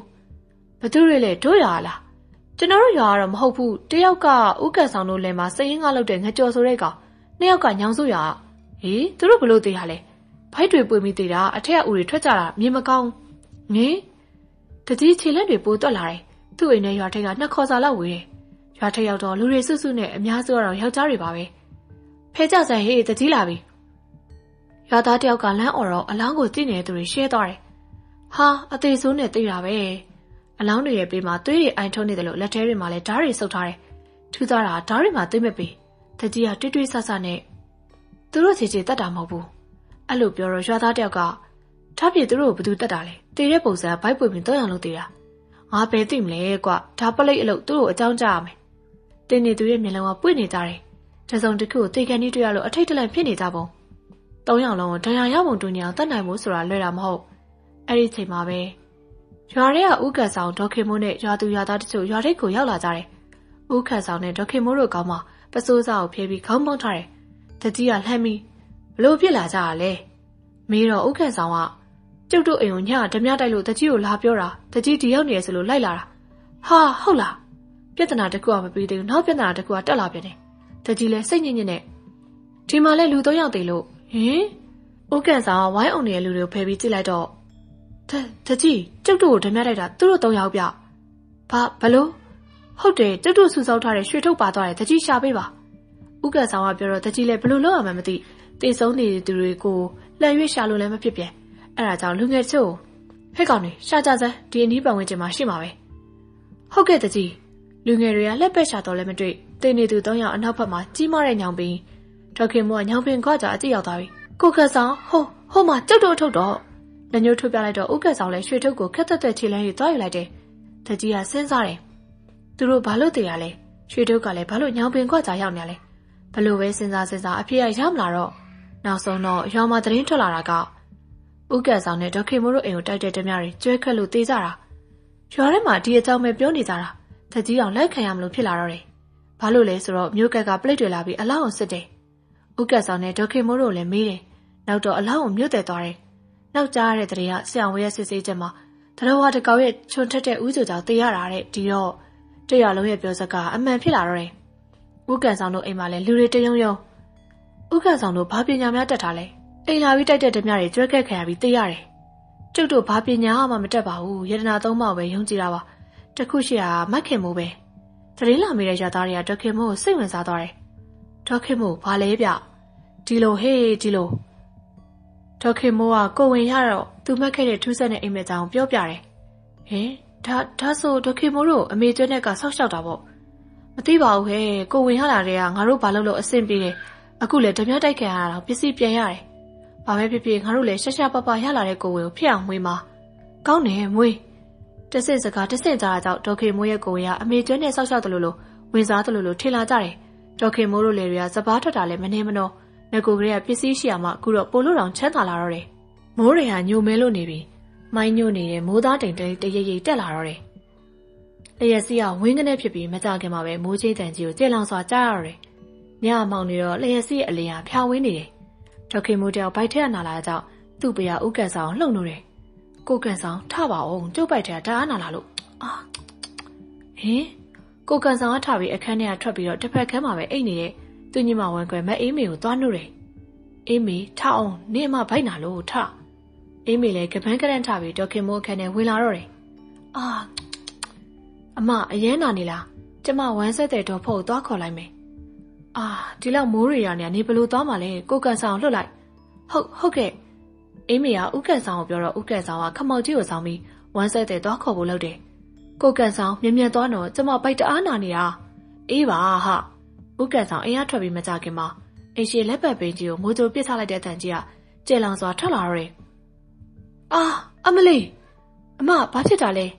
အေးမေမိုးကြိုပစ်တာလားဟဲ့ဟုတ်တယ်အမဘာမှမဖြစ်ပါဘူးအိမ်ရှိကလက်ပတ်ပင်ကိုင်းကြိုးကြတာအာငါမနေနိုင်တော့ဘူးဒေါက်ခင်မိုးတောင်လူးလိမ့်လို့နေရကြောင်းအေးမေကဘာလုပ်ပေးရမှမသိသူကိုယ်တိုင်ကအပြိုကြီးတယောက်မလားထို့အချိန်မှာပဲအိရှင်တို့အိရှင်တို့ခြံဝမိန်းမတယောက်ရဲ့အော်တန်ထွက်လာတယ် အေးမေကအိရှိထွက်ကြည့်တော့ခမောက်ဆောင်ထားတဲ့မိန်းမတယောက်ခြံထဲဝင်လာတယ်ဘာတူလဲခမောက်ဆောင်ထားတဲ့မိန်းမကဘာမှမပြောအိမ်ပေါ်တက်လာပြီးမိုးစုံနေတဲ့ခမောက်ကိုချွတ်တယ်လွန်စာဥပရိယကောင်းပြီးတော့ချောမောလာပါတဲ့မိန်းမတယောက်စပင်ကလည်းနတ်မောင်ရှည်လျရတယ်အပေါ်အင်းကြီးကရင်စစ်လက်ရှည်အနေရအထက်စင်ကိုအပြားလိုက်ကြီးဝစ်ထားတဲ့ထိုမိန်းမအင်းမေကိုပြုံးပြတယ်။သူ့လက်တစ်ဖက်မှာကြိမ်ချင်းကင်ထားတယ်။အင်းမေကအတန်တုံတုံနဲ့ရှင်ဘသူလဲ။ခလေးမွေးပေးမလို့လာတာရှင်နွေးတယ်တာ။ဟုတ်ဟုတ်ကဲ့။ အင်းမေကစိတ်ညှို့ခံရတယ်လို့ဖြစ်သွားတယ်။လူစိမ့်မိမဒေါခင်မိုးခန့်နဲ့ဝင်သွားပြီးတော့အခန်းထဲကဒေါခင်မိုးညှိညွတ်တန်တွေကြားနေရဆဲပဲ။ဥက္ကဆောင်ပြန်လာတော့အင်းမေကအကိုကြီးဒေါ်ဖို့ပါမလာဘူးလား။ညပိုင်းတော့ကြုံရရွာကိုလာခေါ်သွားတယ်တဲ့။ဘလို့လုပ်ကြမလဲ။ဥက္ကဆောင်ကစိတ်ပြက်စွာပြောတယ်။အင်းမေကလေးတန်တွတ်တွတ်နဲ့အကိုကြီးဘာမှမပူနဲ့တော့အမကိုခလေးမပွေးမဲ့လူအခန်းထဲရောက်နေပြီဟေးဥကန်ဆောင်အံ့ဩသွားတယ်စိတ်ထဲကလည်းဟုတ်မဟုတ်ပါမလားလို့တွေးနေတယ်တိတ်မကြခင်ပဲ ခလေးကိုတန်ကြားရပြီးတော့အေးမေကအခန်းထဲထွက်လာပြီအမမွေးပြီအကိုကြီးရေယောက်ျားလေးတော့ယောက်ျားလေးဟေးဟုတ်လားအေးမေကပြောပြီးအခန်းထဲပြန်ဝင်သွားတယ်ဥကတ်ဆောင်ရဲ့စိတ်ထဲပျော်လိုက်တာမှပြောကြတော့မရှိတော့ခလေးရဲ့ငိုတန်ကအခန်းထဲကထွက်လို့လာစေအပြေမမှာလည်းမိုးတန်ကကြားနေရစေအိမ်ခန်းနိုင်ရန်ကိုမိထိုင်ရင်းနဲ့ခလေးတွေစဉ်းစားနေမှာပဲအခန်းထဲကမိမတယောက်ထွက်လာတယ်။ဟဟင်ဥက္ကဆောင်အံ့ဟောနေစမှာပဲထုံမိန်မဥက္ကဆောင်ပြုံးပြပြီးအိမ်ဝါမှာထောင်ထားတဲ့ခမတ်ကိုစောင်း လက်တစ်ဖက်ကကြိမ်ကျို့ကိုကင်ပြီးမိုးရီတွေထွက်သွားတော့တယ်။ဘာတူလဲငါလည်းတစ်ခါမှမမြင်ဘူး။မက်ခင်ကိုလာမွေးပေးတဲ့လူလား။စိတ်ထဲမှာဘေးတူတို့ထက်လုံနေတော့တယ်။ဒေါက်ခင်မိုးကခလေးမွေးပြီးစမ်းစမ်းမာမာပဲ။ခလေးကလည်းဝါဝတုတ်တုတ်ချစ်စရာကောင်းလို့နေ။လက်သေးတော်ဘောကနောက်တရက်မှရောက်လာပြီ။ခင်မို့နင်ဘသူနဲ့မွေးလိုက်တာလဲ။ကျမလည်းဗိုက်တာနာနေတော့ဘသူလဲဆိုတာမမေးမိပါဘူး။သူရောက်လာပြီးမွေးပေးလိုက်တော့ရှော့ရှော့ရှူရှူပဲ။လှုပ်ပေးကြိုင်မေးရလဲအရင်မြင်တာလား။ အင်းမေကိုသာမေးကြည့်ပါတော့။အင်းမေကသူ့မပြောတာကိုခေါင်းညိတ်တယ်။ဟုတ်တယ်တော့ဖော်ရဲ့အဲ့ဒီမှခလေးမွေးတာတိတ်ကြမ်းကျင်တယ်။ရုပ်ကလည်းချော့လိုက်တာ။စကားလည်းမပြောဘူး။ခလေးဝမ်းကျစ်ပြီးအနီးနဲ့ထုတ်ကြက်ကိုပေးပြီးပြန်ထွက်သွားတယ်။အင်းမေပြောတာကိုတော့ဖော်စဉ်းစားတယ်။ဒီရတစုံမှာဝမ်းဆက်တဲ့အများကြီးရှိတာမဟုတ်။သူသိတဲ့ဝမ်းဆက်တဲ့တွေဆိုတာလဲအင်းမေပြောတဲ့အရွယ်တွေမဟုတ်။အားလုံးရှိတာမှ၃ယောက်အသက်တွေကလည်း90ကျော်ပြီ။ချောချောလာလာတွေလည်းမဟုတ်။ညီတို့ဟာဟုတ်ကောဟုတ်ရလားဟဲ့။ ငါသိတဲ့လောက်ညီတို့ပြောတဲ့အရွယ်ဝမ်းဆက်တဲ့ဆိုတာမကြားမိပါဘူး။အင်းမေကမယုံတယ်လို့ပြောတော့ဒေါ်ဖော့ကိုဟုတ်လို့ပဲကျုံမှမွေးပြီးပြီးအရေးကြောင့်ဆိုဒေါ်ဖော့ကမရှိဘူး။ဟိုမလာမွေးပေးတာကိုကျေးဇူးတင်ရမယ်ငါလည်းခင်မိုးမွေးမယ်မယ်မသိလို့ပေါ့ဟဲ့သိရင်ကျုံရရွာလာခေါ်တာဘယ်လိုက်သွားမလဲခင်မိုးကိုငါကိုယ်တိုင်မွေးပေးတင်တာဒေါ်ဖော့ကအလင်းမြန်ပြောလိုက်တယ်ဘာလို့လဲဆိုတော့ဒေါ်ခင်မွေးမွေးမဲ့စိတ်ကို तू ကကြိုးယူပြီးသားသူငွေလိုလေဒေါ်ခင်မိုးကအမြဲကူညီနေသူဆိုတော့စိတ်ဆိုးလို့လည်းမဖြစ်ပြန် ဒေါ်ဖော့လည်းအားရင်ကျမကိုလာလာကြည့်ပေးပါအေးပါခင်မိုးရဲ့စိတ်ချငါနေ့တိုင်းလာမယ်နေ့ကငါကိုယ်တိုင်မွေးမဲ့ပေးရလို့စိတ်မကောင်းဖြစ်နေတာရပါတယ်မွေးလဲမွေးပြီးပြီပဲမွေးပေးတဲ့အမျိုးသမီးကိုကျေးဇူးတင်တာဘလို့ကျေးဇူးဆက်ရမှန်းကိုမသိဘူး။ဗမာနေမှလည်းမသိဘာမှလည်းပြောမသွားခက်တယ်။အေးလေဟဲ့နေ့ဟာအထူးဆန်းဒေါ်ဖောကပြောတော့ဒေါ်ခင်မိုးပြုံးပြတယ်။ထူးဆန်းတာကိုဝင်ရကြရဆိုပါတော့အနီးပိတ်ပြပြလေးနဲ့ထုတ်ထားတဲ့ကလေးကဒေါ်ခင်မိုးပိတ်မှာအိပ်ပျော်လို့နေတယ်။ကလေးကနှုတ်ဆိုရလား ခဏပဲဆိုတယ်ဒေါ်ဖောပြီးရင်ငြိမ်သွားတာပဲ။ဝါဟောဝါရလားခဏဆိုတာဆိုတော့ဝါမယ်မထင်ဘူး။ဒါပေမဲ့မငိုပါဘူးစုပ်ပြရနဲ့ငြိမ်နေရပဲ။နေနိုးမထွက်တာလားအေးလေနောက်တော့စုလာမှာပေါ့မစုတက်သေးတာလည်းပါပါမယ်ဒေါ်ဘောကဒေါက်ခင်မိုးကလောက်ကင်ပေးစာရှိတာကိုလောက်ကင်ပေးပြီးပြန်သွားတယ်ညနေဆောင်ရောက်တော့ခြံထဲကိုကိုကက်ဆောင်တယောက်ကျွဲမာရီတကောင်ဆွဲပြီးပြန်လာတော့တယ်မက်ခေရေငါကျွဲမတကောင်ဆွဲလာတယ်ဟင်ဘဲရကျွဲလေစာပြူစုကငလုံးကျွဲလေသူ့မိမပန်းနာရင်ကျဲဖြစ်နေတာ မြို့တက်စိတ်ကူးချင်လို့အတေးရောက်တာနဲ့ဝဲလာတာကုညီကလည်းရောက်တာပေါ့ရှင်းရလဲခြံထဲမှာနွားတွေပဲရှိတာကျွဲရလဲတကောင်နဲ့ဘာလို့ဖို့လဲဒေါက်ခင်မိုးကအပြစ်တင်တော့ဥက္ကဆောင်ကကျွဲရကျွဲမသားပေါက်ထားတာမကြသေးဘူးတားကလေးပဲတကောင်ကြပြီးတေးသွားလို့နှိုးကတော့တားထွက်တယ်ဆိုပဲရှင်ကတော့လှုပ်ပြီးကျွဲနှိုးကအားရှိတယ်မေးလဲနှိုးလိုက်အောင်တောက်ပေါ့ဥက္ကဆောင်ကသူ့ထင်အောင်ပြောတော့ဒေါခင်မိုးကအိုးကျွဲနှိုးတောက်လို့ရလားမရလားမေးရအောင်မယ်ကိုထင်တာလှုပ်လို့မရဘူးခလေးတော့တိုက်လို့ရမယ်ထင်တယ် တိတဲ့လူကိုမေးကြည့်ပေါ့ငါသားတဲ့နှိုးကတော့အရှင်ပဲပဲဟေ့ဥက္ကဆောင်ကအားရပါရပြောရတယ်ဒေါခင်မိုးကအိမ်မောမခြံထဲမှာရှိတဲ့တိုင်မှာချီထားတဲ့ကျွဲမာကြီးကိုလှမ်းကြည့်ပြီးသူလည်းတောင်းမွေးထားတာအဖက်တော်မတင်ဘူးကိုလည်းတောင်းမွေးထားတာဆိုတော့ကိုချင်းစားပါတယ်ကိုကန်ဆောင်ဟေးသူ့ကိုဘာလုံးမှမခိုင်းပါနဲ့ဟင်ဘာလို့တော့မိကေကြီးကိုချင်းစားလို့ပါခြံထဲကကျဲမကြီးကတော့ဒေါက်ခင်မိုးရှာကိုလှမ်းကြည့်နေလေတော့တယ်ခလေးကနှိုးမဆိုဘူးနှိုးမကောင်းတာလဲပါတာပေါ့ဒေါ်ကြီးရဲ့ အိမ်ကိုလာမေးသူတချို့ကခလေးကိုကြည့်ပြီးမိတဲ့အခါဒေါက်ခင်မိုးကရှင်းပြတယ်နင်းနှိုးမဆိုတော့ဘယ်နှုတ်တိုက်လဲခင်မိုးကျွဲမိုင်နှုတ်တိုက်တယ်ကျွဲမိုင်နှုတ်ကတော့တော်တော်ကောင်းတယ်ဒါလေးလည်းကြိုက်တယ်ထင်တယ်အားရပါရစုတ်တော့တာပဲအေးဟဲ့ခလေးတိုင်းမအေးနိုးဆိုမှအာသာပြတာနေ့ကလေးမှကျွဲနိုးကြိုက်ရတယ်လို့ဒေါ်အေးကပြောတော့ဒေါ်ခင်မိုးကပြုံးတယ်ခလေးကတိတ်လည်းမငုံဘူးအနေအေးတယ်ဒေါ်အေးရဲ့နိုးဆိုပြတာနဲ့အိတ်တာပဲငယ်သေးလို့နေမှာပေါ့ဟုတ်ချေဟုတ်မှာပါခလေးငိုရင်နတ်မအတန်ပေးတော့တာပဲနတ်မတန်ကြရင်ခလေးကတိတ်ရော နတ်မဆိုတာဟိုကျွဲမာကြီးကိုပြောတာဟေးဒေါ်အေးအန်ဟောရပြန်တယ်ခလေးရဲ့ထူးခြားမှုတွေကိုသူ့တို့ဟိုးရင်တွေကသိခဲ့တယ်ဥက္ကဆောင်ဒေါခင်မိုးတို့အသားပြုတ်ပေမဲ့ခလေးကမွေးကလေးကမဲမဲလုံးလုံးလေးမျက်ခုံးမျက်လုံးကောင်းသလိုစပင်တွေကလည်းနတ်မောင်နေတယ်။ခလေးကိုတော့ဂယူးဆိုင်သူကနင်တို့ကိုကိုဝေရကလေးအကျိုးပေးတာ။စိုက်တလားတော့မမေးနဲ့တော့အေးအေးသူ့ဖေဆိုအလောက်ပလောက်များများခလေးကိုလက်ကကိုမချအောင်နင်းနေငွာနဲ့ကောက်ချီတာ။ခဏခဏလည်းချီမရီနဲ့လက်ကြိုက်သွားမှခတ်နေမယ်။ဟုတ်ကဲ့ပါ။ ဒေါ်အေးပြန်သွားတော့ခလေးကနိုးလာတာနဲ့ဒေါ်ခင်မိုးလည်းကောက်ချီပြီးတော့နှုတ်ဘူးတဲ့ကျွင်းတို့ကိုတိုက်လိုက်တယ်။ခလေးကအမေဖေကိုဒုက္ခမပေးညဘက်လည်းတစ်ခါနှစ်ခါလောက်ပဲနိုးတယ်။ရှူပေါက်တာတော့အေးပါတာတော့အချိန်ပဲအနီလေဘေဘီပြန်အရင်အိတ်တာပဲ။လာသားလေးလည်းဖြစ်တာတော့ပိုချစ်စရာကောင်းလာတယ်။ခလေးကမဲမဲလုံးလုံးလေးဒေါ်ခင်မိုးတို့လင်မယားနောက်လုံးချစ်လိုက်တာတုံးနေတာ။ခလေးနဲ့မဲကိုပေးဖို့ရွာသားကဆရာတော်မိတော့ဆရာတော်ကတွက်ချက်ပြီးညတို့သားအတိတ်ဘဝပဋ္ဌာန်းဆက်တွေရှိတယ်။သာသနာပြုဖို့လူ့ဘဝလာတာ။ သူ့နာမည်ကိုတတိလာနဲ့ကြာတာပရိတွဲမေးရမယ်အင်းဟုတ်ပြီကြော်မိုးကြော်ပြီးမိုးထားနိုင်တဲ့အတိတ်နဲ့ကြော်မိုးလို့ပြလိုက်တင်မဗျာဆရာတော်ပေးတဲ့နာမည်တိုင်းသူတို့သားလေးကိုကြော်မိုးလို့နာမည်ပေးလိုက်တယ်ဟဲ့သားတနက်ခါတွေဘာလို့လိမ့်တာလဲမှန်ရှိရမခွာပဲတနက်ခါတော့တွေးလိုက်မျက်နှာမှာလိမ့်လိုက်လုံနေတဲ့ကြော်မိုးမိကေဖြစ်တဲ့ဒေါခွေမိုးကလှမ်းអော်တယ်ကြော်မိုးကကြားပေမဲ့မှန်ရှိရမခွာဟဲ့ငါပြောတာကြားရဲ့လားကြားတယ်အမေရဲ့မပြီးသေးလို့ မှန်ကိုကြည့်ပြီးကြောက်ပြာတနက်ခေါက်ယူပြီးပကွက်ဝိုင်းနဲ့ကြော်မိုးကပြန်ပြောတယ်နေရတော့ခတ်တာပဲအားနေလို့မှန်ရှိရအောင်မခွာငါမွေးထားတာယောက်ျားလေးမိန်းကလေးမဟုတ်ဘူးအဲ့လောက်လှကျင်လို့မဖြစ်ဘူးဒေါခင်မိုးကတပြစ်တောက်တောက်ပေမဲ့ကြော်မိုးကသူ့အလှပြနေတာမပြတ်အမေဘိန်းကြီးဝေးရမှာလေဟဲ့စစ်ကျယ်ဝေးပေါ့ဒီလောက်ပူလောင်နေတာစစ်ကျယ်မွေးချင်မဟုတ်ကြော်မိုးကနှကန်းစုကပြောတယ်ဒေါခင်မိုးကဒေါကံပြီးစစ်ကျယ်မွေးလို့ဘာဝင့်မှာလဲဟိုရက်ကအဖေမျိုးကဝယ်လာတဲ့အင်ဂျီသေးလေးဝင့်မယ် တဲငါလုံလိုက်ရအလူတို့ဘာလို့တော့မှအသိဝေးရတာအိမ်နေရင်ဘာလို့အသိဝင့်မှာလဲဒေါခင်မိုးကအော်တော့ကြော်မိုးကခြေဆောင်ပြီးပြီးတော့တဲ့စွတ်ကျက်တထဲကိုယူပြီးတော့မဝစ်ချေဝစ်ချင်နဲ့ဝစ်လိုက်တော့တယ်။ပါးမှာပကွက်ကွက်ထားတာပါးနဲ့ဖက်လုံးညီးလို့ဟဲ့ဒါပဲသွားမလို့လဲ။နတ်မနဲ့လဲလဲသွားမလို့ဒေါခင်မိုးဘာမှမပြောတော့ကျော်မိုးတက်က6နှစ်ကျော်ပြီကြာကြာရမရှိလူကမိန်းကလေးတောက်လို့နှွဲ့နေတော့တယ်။အလားပါကြိုက်တာလဲလွန်ရော ယောက်ျားလေးတွေနဲ့မစော့သူ့ဖော်ရမိန်းကလေးတွေသာဖန်ခုံကျိုးခုံမိန်းကလေးတွေနဲ့ဒန်းတူစော့တယ်။သူ့မိဘတွေရဲ့ကြွယ်ရမှာသူ့ဖွယ်တွေကသူ့ကိုအချောက်တဲ့သူဘာမှပြန်မပြောစိတ်ထဲကစိတ်ပြီးကျင်းနေနေယောက်ျားလေးတောက်လို့စိတ်ကဘလို့မှမွေးလို့မရပြေပြေလာလာရဲရဲတေးတေးဆော့ရမှာဝါသနာမပါမိဘများကွယ်ရပန်းပန်တာကိုသူသဘောကျတယ်တခါကသူစည်းစောဝါပတ်တဝင့်ခေါင်းမပန်ထားတာကိုအဖေတွေ့တော့နွားရိုက်တဲ့ချိန်လုံးနဲ့သူ့စော်တာတုံရက်လောက်အိပ်ရာတွေကမထနိုင် အမေကဆေးလိမ့်ပေးမှတတ်တာသွားတယ်တားရဲ့တားယောက်ျားလေးဘာလို့ပန်းပန်တာလဲပန်းပန်နေဆိုတာမိမတွေမှာပန်တာ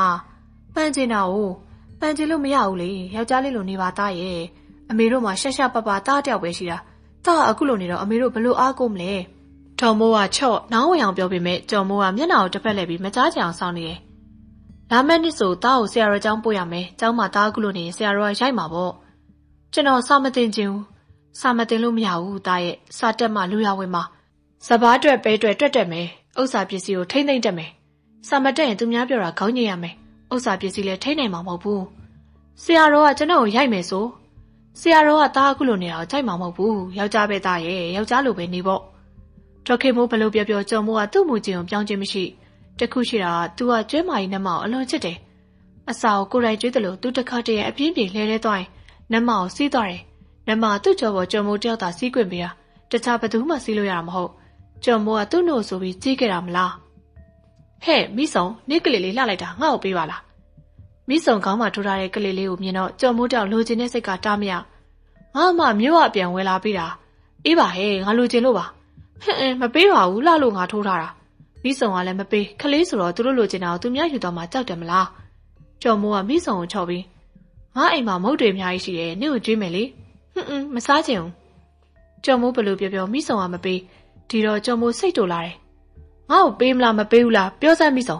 မပေးဘူးနင့်ဟာမို့လို့လားမိဆောင်ကလည်းအပြစ်ညင်းတယ်။ကောင်းကောင်းတောင်းလို့မပေးရင်လူတက်တယ်။ဟင်ကျော်မိုးကမိဆောင်ကောင်ကလေးကိုအတေးဆွဲလူတယ်။မိဆောင်ကလည်းယုံတယ်။နှစ်ယောက်သားဖုန်ထဲမှာလုံးထွေးနေကြတော့ဘေးကကလေးတွေကမိဘတွေကိုပြေးပြောတယ်။ဒေါ်ဆန်းအေးမိဆောင်နဲ့ကျော်မိုးတတ်နေကြလို့ဟေးထမင်းချက်ဖို့ပြင်နေတဲ့ဒေါ်ဆန်းအေးအိုးကိုဘေးချပြီးလာပြောတယ်။ ကလေးနောက်ကိုလိုက်လာတော့တယ်။ဟဲ့ကလေးတွေတော်ကြစမ်းဒေါ်ဆန်းအေးကကျော်မိုးနဲ့သူ့သမီးမိဆောင်ကိုဆွဲဖယ်လိုက်တော့မိဆောင်မျက်နှာမှာလက်သေးကုတ်ရတယ်တွေ့တယ်လို့ကျော်မိုးလက်မှာလည်းမိဆောင်ကတ်ထားတာတွားရအခွင့်လိုက်အဲ့ဒီချိန်မှာဒေါခင်မိုးလည်းရောက်လာတော့တယ်ဟဲ့ဟဲ့ဘာဖြစ်ကြရလဲဒေါခင်မိုးကမေးတော့မိဆောင်ကသမီးကလေးကိုသူယူမလို့ဆိုပြီးအတေးလူတာကြည့်ပါဦးမခင်မိုးရဲ့ကျမသမီးမျက်နှာမှာရှင့်သားလက်နဲ့ကုတ်ထားတာဒေါခင်မိုးကတက်သားကိုကြည့်ပြီးလက်ကိုဖုံးခါပြီးတော့မိဆောင်ကတ်ထားတဲ့တွားရအောင်မြင်သွားတယ်ဟင်ဒါဘာသူလောက်တာလဲ သူကြိုက်တာဒေါခင်မိုးဆွတ်ဆွတ်ကုန်သွားတယ်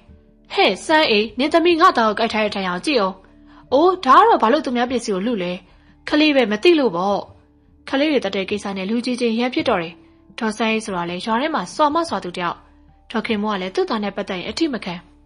နောက်မှထားကို့ခလေးမလူစေချင်ဝယ်ပေးထား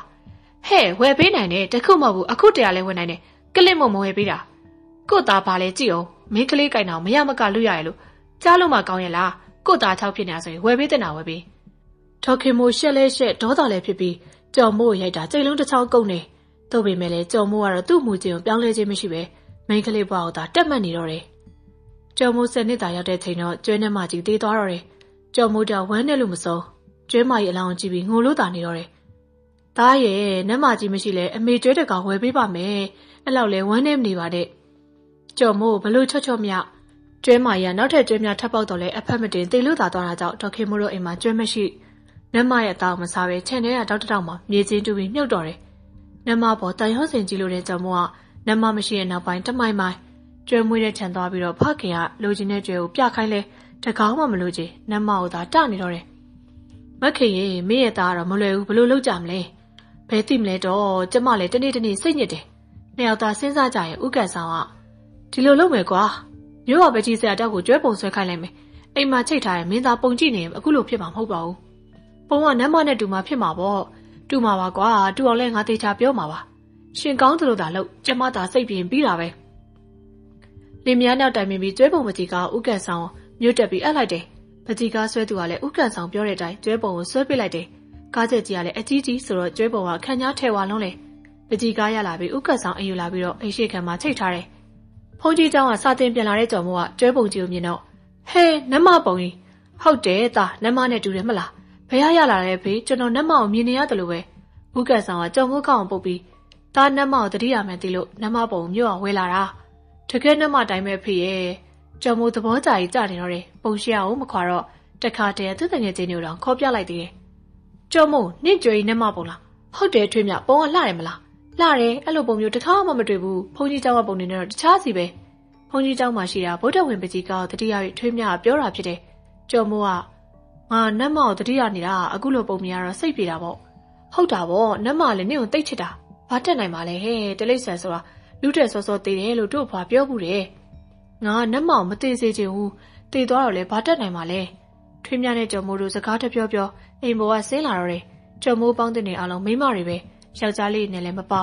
ကြင်ကြင်တန်ဆော့ကစားတာကိုလည်းဝါသနာမပါနူးနူးရွရွအလှပတွေကိုအရွယ်ရောက်လာတဲ့ပုံမက်မောလာတော့တယ်လမ်းလျှောက်ရင်လည်းနှွဲ့လာတယ်ဝိုင်းစိန်နဲ့ထွေးများတို့နေပုံထိုင်ပုံပြောပုံဆိုပုံအားကြလာတော့သူတို့အတိုင်းပြောနေတော့ယောက်ျားဖြစ်တဲ့သူ့ပုံတွေကတဟဇာတာမဖြစ်ပြဲ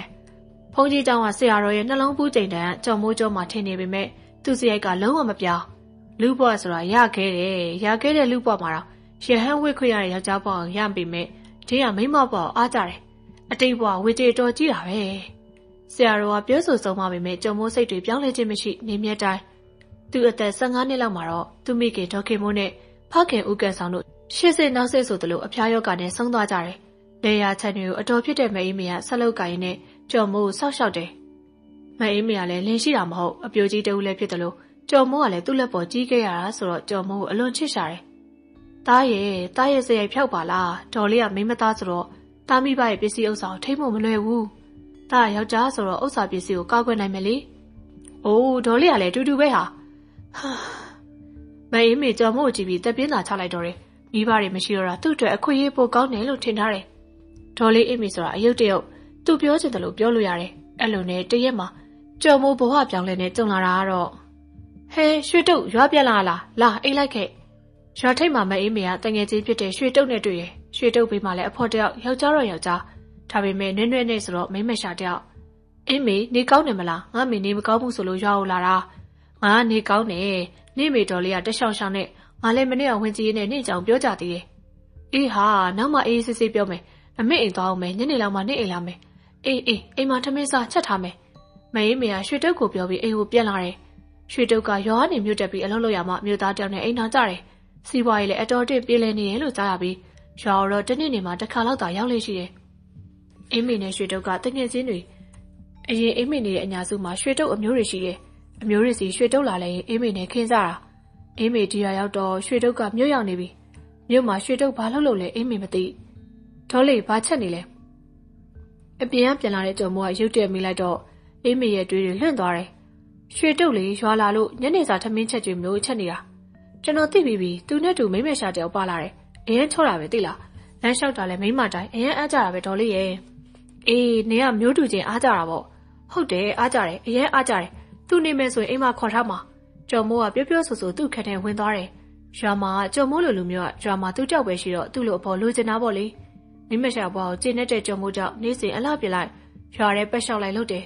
မင်းမေလည်းကြုံမိုးကိုဘာမှမပြောတော့မိဘတွေရှိကြတဲ့ပြောမြခဲ့တာအခုလိုအချိန်မှဆိုရင်ပိုလို့တောင်ပြောလို့မရတော့မဲမအေးမီသိတယ် တို့ကမြို့မှာကတားစီလက်ထောက်နဲ့ကြောနက်ပွဲရှိအရန်ပြောစရာကောင်းတာမိမရှာတွေမှာအများကြီးမိမဆိုတဲ့ရွှေတုံးနဲ့ပါလာတဲ့အချောက်ကပြောတာကိုကြုံမိုးကအားကျစွာနားထောင်တယ်မိမရှာတွေကချောလိုက်ရင်ဟဲချောတာပေါ့ရုပ်ရှင်မင်းသမီးတွေတိုင်းနှက်ခမ်းနေမိတ်ကတ်တယ်လေမျက်တောင်တူးတက်နှက်ဝိနဆာနဲ့ဆိုတော့အတုနဲ့စစ်ဘလို့မှခွဲမြတော့ကနာပွဲတွေမှာဆိုတရဲနဲ့ကောင်နဲ့အတေးလက်ဆွဲဖတ်တောင်နေတာအမလီပြောရင်းအောင်ရှင်းတုံနေမိမရှာဆိုပေမဲ့အနေထိုင်ပြောဆိုစင်ကျင်ရတယ် ခက်နဲ့နဲ့မိမရှာတွေဆိုမာမီဆိုကပြောကြည့်လို့မရရင်လက်မခံအောင်မောင်းထုတ်ပစ်တာမာမီဆိုးဆိုတာဟာကနာစီမောင်မောင်ဆိုးလေဟဲ့တို့ဆရာမကြီးပေါ့အရက်အကတော်တာဘယ်နဲ့ဝင်ဘလို့ကောက်ရမယ်စိုင်းစည်းစဲနဲ့ညီအောင်လက်ချိုးချေထိုးတက်ရမယ်ဆိုတာအသေးစိတ်သိမိတာကြုံမိုးတယောက်သူမကြားဘူးတာကြားရလို့အရန်အောင်စိတ်ဝင်စားနေတယ်သူ့လိုမိမရှာတွေအဖွဲလိုက်ကကြပြောကြတာကိုစိတ်ကူးနဲ့တည်းအားကြကျင်းနေလာတယ်ကတက်မဆိုတော့နှက်ဝင်တော့ဘလို့လုပ်နေနက်ကဝင်တဲ့ခါလဲဝင်တာပေါ့မဝင်တဲ့ခါလဲကိုပိနဲ့နက်ကတဲ့အတိုင်းပေါ့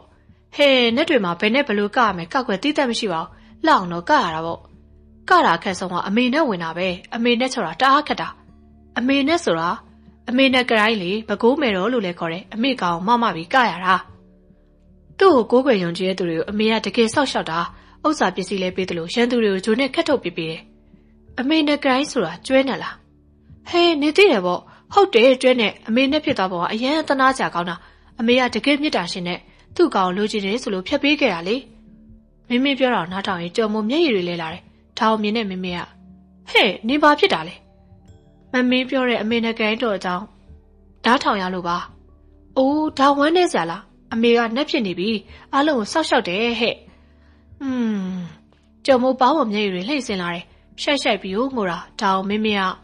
ဟဲ့ထုံမိမရှာတွေကအပြင်ဘက်မှာသာအနှုတ်ရနေရတာစိတ်ကမာရတယ်ဟဲ့။ပတ်ဝန်းကျင်ကကိုနေထိုင်တာကို ဘလို့ပဲပြောပြောစိတ်မပြောင်းအောင်နေရတယ်။ကိုပြောတာဘောကမှမပြောင်းပြရဘူး။နေကအမေနဲ့ကြောင်ပြောရုံနဲ့ကိုတာစိတ်ပြောတာပေါ့။အဲ့လိုစိတ်ပြောရင်မိမရှာမလုံနဲ့တော့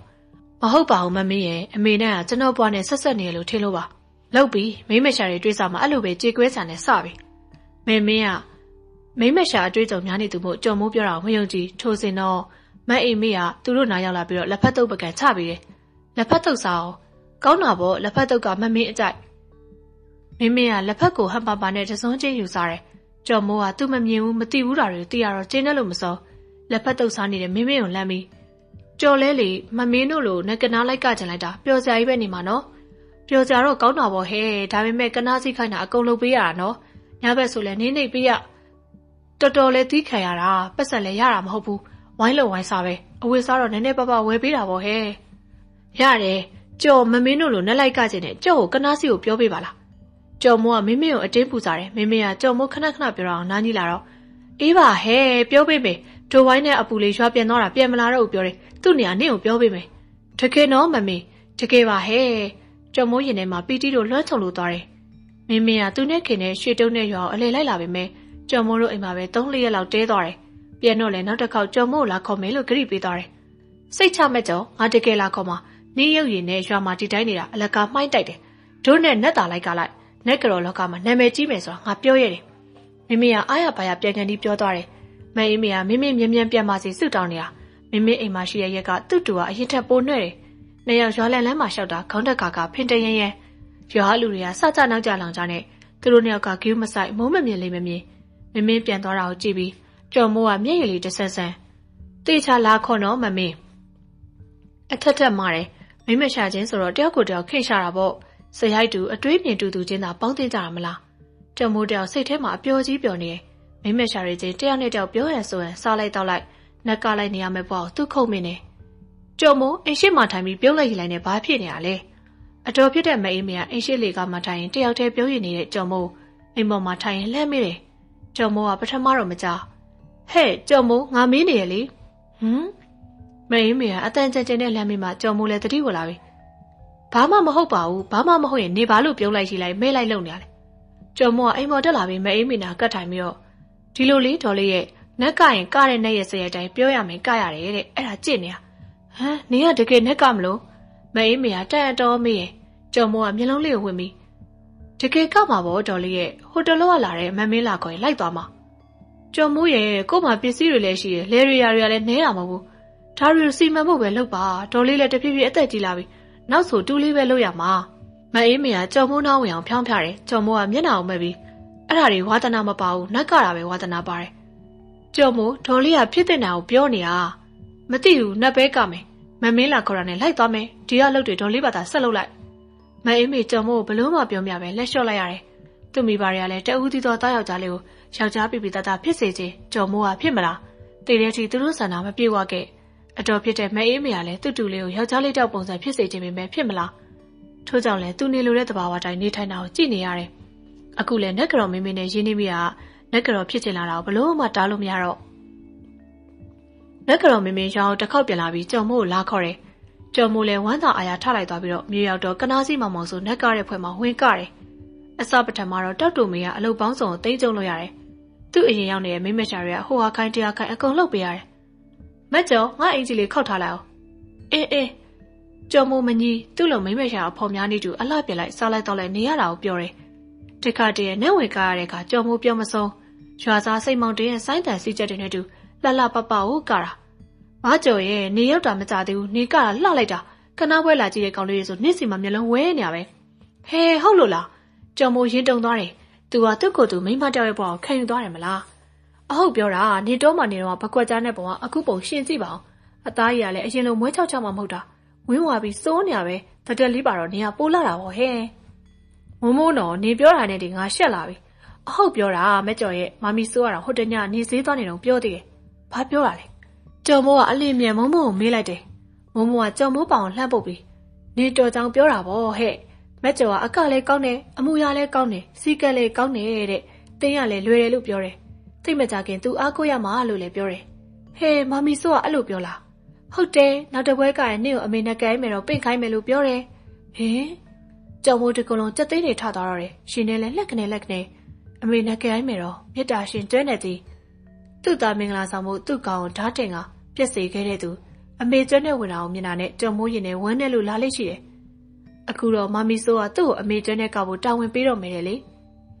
ဟဲ့မက်ကျော်နေပါဖြစ်နေတာ အမေကျွဲနဲ့နေမကကျင်လို့လားဟင်မျက်ရည်တွေဝယ်ပြီးအမေကျွဲနဲ့ကြောင်စဉ်းစားနေတဲ့ကြော်မိုးကြောင့်မိုးမိုးပြောမှတတိဝင်လာတယ်နင်ဘာမေးရလဲမိုးမိုးနေအမေကျွဲနဲ့မကကြင်လို့လားလို့မကကြင်လို့ပဲဟုတ်မလဲမမို့ရဲ့အမေဘွားနဲ့ငါဘွားတစ်ဆက်တည်းဆက်ဆက်နေတာပါငါကိုယ်တိုင်ငငယ်တည်းကကျွဲနှုတ်ဆိုပြီးကြီးလာတာလေအော်မမို့ကကြုံမို့တန်တော်ကြီးလို့သာနေလေတော့တယ်ကြုံမို့တောင်အမေကျွဲနဲ့ဝင်တော့အလုံးကတန်တော်ရွာသားစိတ်မောင်တင်ဆိုင်ဝိုင်းကတီးတဲ့တိတ်ကွက်တွေ အစုပ်အငုံမမော်စိန်ဆိုတဲ့အဆိုတော်ရဲ့အပြောမှုတွေနဲ့တထက်ထဲညီစွာကတဲ့ကြုံမို့ကနာရဲ့အတူကတဲ့သူတွေမဆိုတာနဲ့ကနာစီမမီမိုးကပါချီးကျူးတယ်မက်ကျော်ငါနဲ့ကလာတာနှစ်20ကျော်ပြီနေ့လိုမြင်းမြန်းဆက်ဆက်လှလှပပကတတ်တယ်လို့မတွေ့သေးဘူးအေးနေ့တနေ့ငါနေရာရလာမှသိကြတယ်နေ့ကိုဒီနေ့ကစပြီးငါလက်ထောက်ပစ်ထားမယ်ဟင်ကျော်မုံအံ့ဩတာတယ်ကနာစီလက်ထောက်ဆိုတာအရှိန်ဝါနေတာမဟုတ်နက်ကတဲ့ဖွဲထဲမှာခေါင်းဆောင်ပြီးအာနာရှိဆုံးသူသူ့ကိုလာခေါ်တဲ့မင်းမင်းဆိုတဲ့မင်းမရှာသူ့ကိုယ်သူကနာစီလက်ထောက်လို့ပြောပေမဲ့ တကယ်တမ်းကျတော့သူ့လိုကိုလိုမောင်မောင်ဆိုနဲ့ကနာစီတစ်ဖွဲ့လုံးဦးစီဦးဆောင်လောက်တာမမီဆိုကနာကရလဲနေဆောင်တပွဲပြီးတပွဲ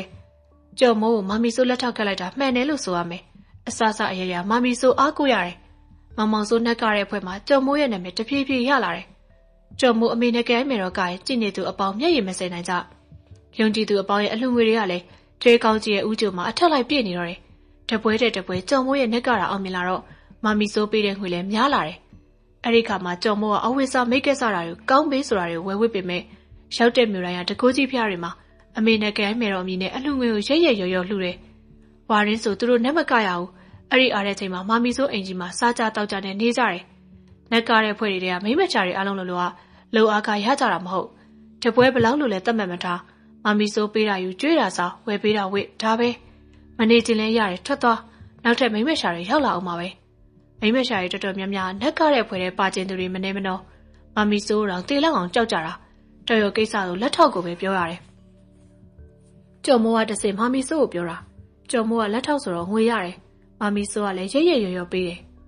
ငါနင့်ကိုစေတနာရှိတယ်မကျော်နေရအလုပ်ကိုလေးစားတယ်အလူတန်းရေရောတယ်လိုအပ်တာတဲ့မပူမိမရှာတွေကမိမစိတ်တဲ့အပေါက်ဆက်များတယ်ထိရသိရလည်းခက်တယ်နေရအားလုံးကိုမေတ္တာစေတနာနဲ့အုပ်ချုပ်တော့ငြိမ်းကြတယ် အရင်လက်ထောက်တွေတော့ဆိုဟိုတမျိုးဒီရတမျိုးသူတို့ကိုယ်တိုင်ကခက်ခဲကြွတွေမလားငါအတိတ်ဘဝမှာမစင်ကြလို့အခုဘဝမှာမိမရှာလာဖြစ်ရတာအခုဘဝမှာအကောင်းဆုံးဖြစ်ရနေမယ်စိတ်မကူအမျိုးစုံအပေါက်ဆက်များကြတာကျော်မိုးငါလည်းတဖြည်းဖြည်းအသက်ကြီးလာပြီနောက်နှစ်နှစ်လောက်ဆိုရာသက်ပံတရားစကဲဝင်တော့မှအဲ့ဒီခါမှာဒီဖွဲ့ကိုနေမဲဥဆောင်ရမှာငါစီကနက်ကတဲ့ပညာတွေအကုန်နှင်းသိထားဟုတ်ကဲ့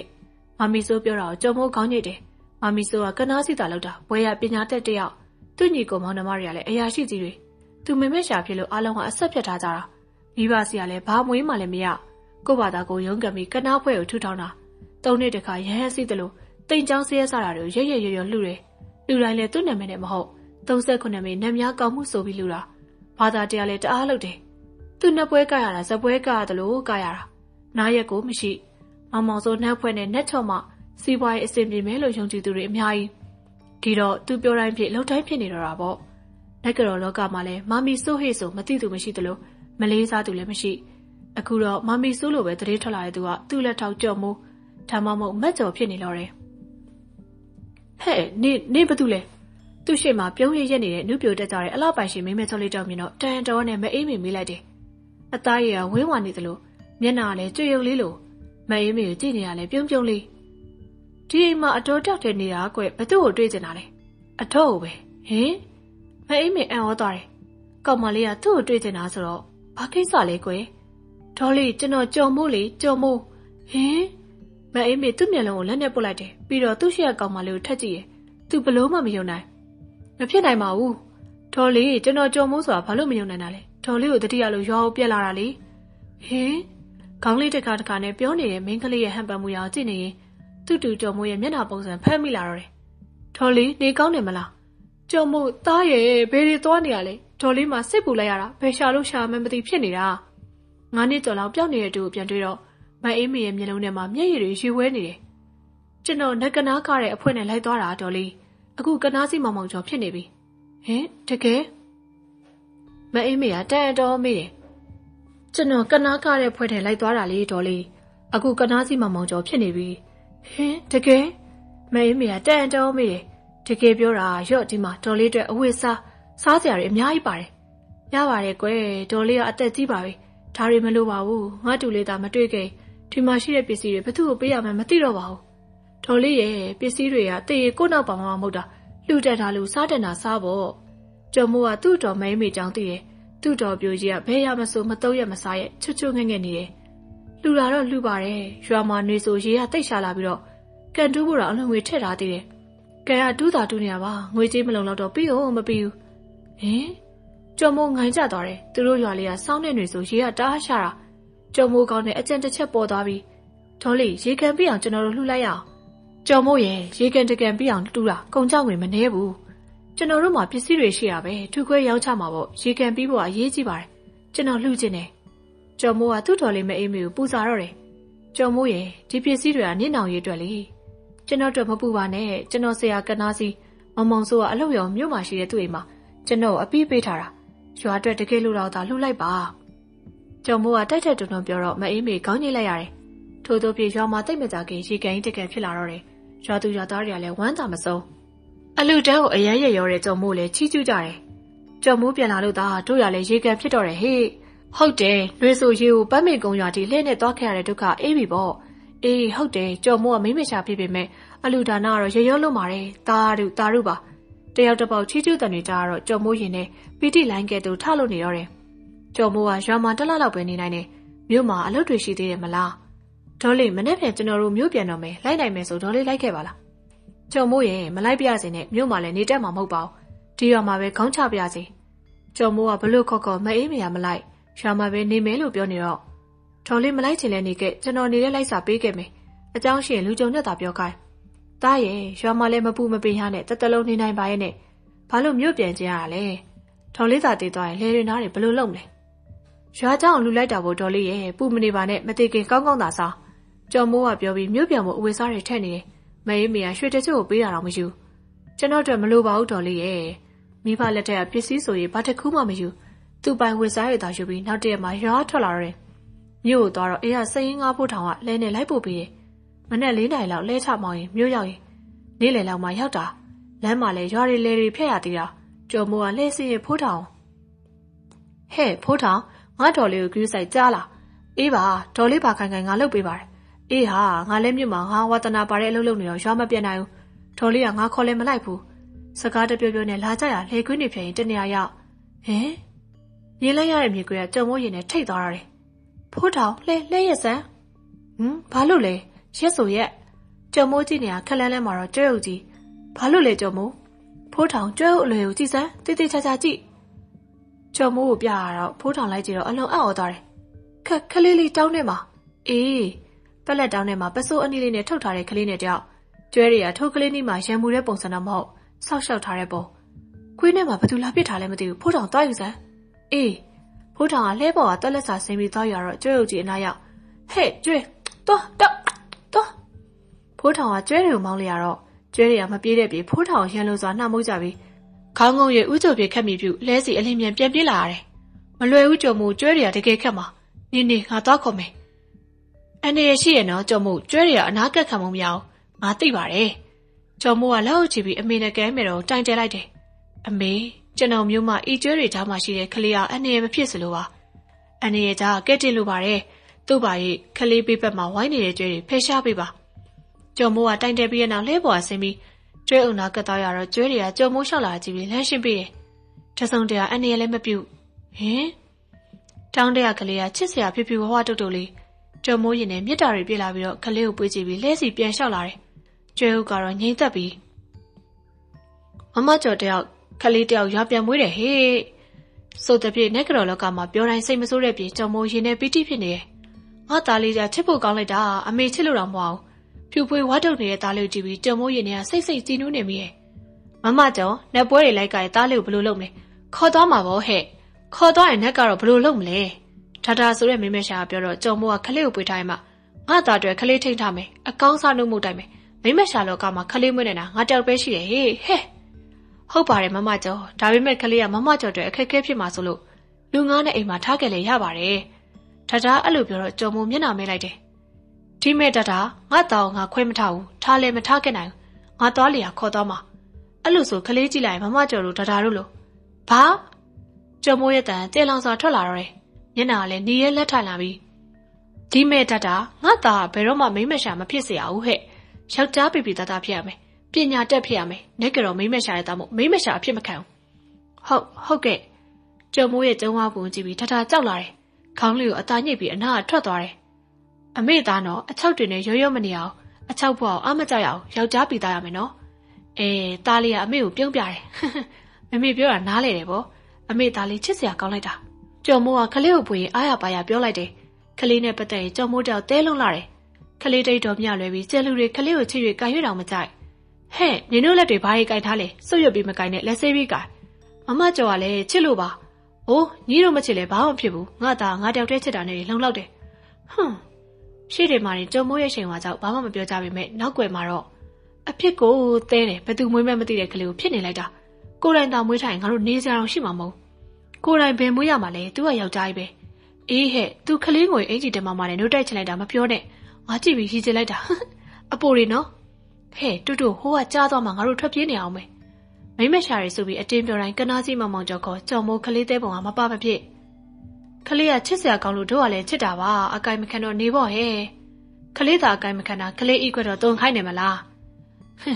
လှုပ်ပေးရတာပေါ့ငါတို့ရက်တီဘွားသူ့စကားတခုပဲမလားသူနေထုတ်လိုက်ရင်ထွက်သွားရမှာလေဟုတ်တယ်ဟုတ်တယ်ကျော်မိုးတို့ဖွဲ့တွေကနက်ကတော်မိမရှာရီကလည်းသူ့တို့ဘွားကိုသူတို့သိတယ် ကျော်မိုးထားရနေဆေးရသွားပေးတာယူဘွားရီဆိုတော့ကျော်မိုးကိုမလွန်ဆန်ရဲတယ်လို့ကျော်မိုးရဲ့သားထက်မှန်ချီဘာလို့လို့မချီသွားပြစ်လို့သာနေရတော့တယ်ထက်မှန်ချီတယောက်နှစ်နှစ်သားရွယ်ရောက်ပြီးလမ်းလျှောက်ဆရွယ်တော့ဟိုဆွဲတီဆွဲရှိုးကိတ်ထဲကဘကက်အထက်လိုက်ဆွဲချလို့ကြက်ကွဲသွားတယ်ဘကက်များကြက်ကွဲသွားကြောင့်ခလေးကကြောက်ကြောက်နဲ့လန့်ကိုတယ်ဟဲတာဘာဖြစ်တာလဲအင်ကြီးကနက်ကကိုလာငါးသူတွေနဲ့စကားပြောနေတဲ့ကြော်မိုးထားပြီးအတန်ကြားရထမင်းစောက်ခိုင်ကိုပြေးလာတယ်ဟမ်တာဘကက်များကွဲတွေပြီးမှမတ်တရက်ငုံနေတဲ့ထက်မှန်ချီကိုပွေ့ချပြီး တာဘဲထိသွားလဲအမေကိုပြောစမ်းကြော်မိုးတဆက်ဆက်ခါသွားတယ်ခလေးကတဲတဲထက်တယ်ငိုစဲဒေါ်မြင့်ဗမာလဲအငယ်လေးတို့တင့်တင့်တို့လာကြစမ်းကျေလောင်နဲ့ကြော်မိုးတန်ကြတော့ဒေါ်မြင့်လည်းပြူးပြူးပြပြရောက်လာတယ်လို့အငယ်လေးတင့်တင့်တို့မိမရှာတွေလည်းအပြေးရောက်လာတယ်ဒေါ်မြင့်ဘဲသွားနေရလဲအင်သားဝင်နေရပါဒီမှာခလေးကပကံနေဆွဲချတာကွဲကုန်ပြီပကံကွဲတာရင်မကြည့်ဘူးခလေးထိသွားလားမသိဘူး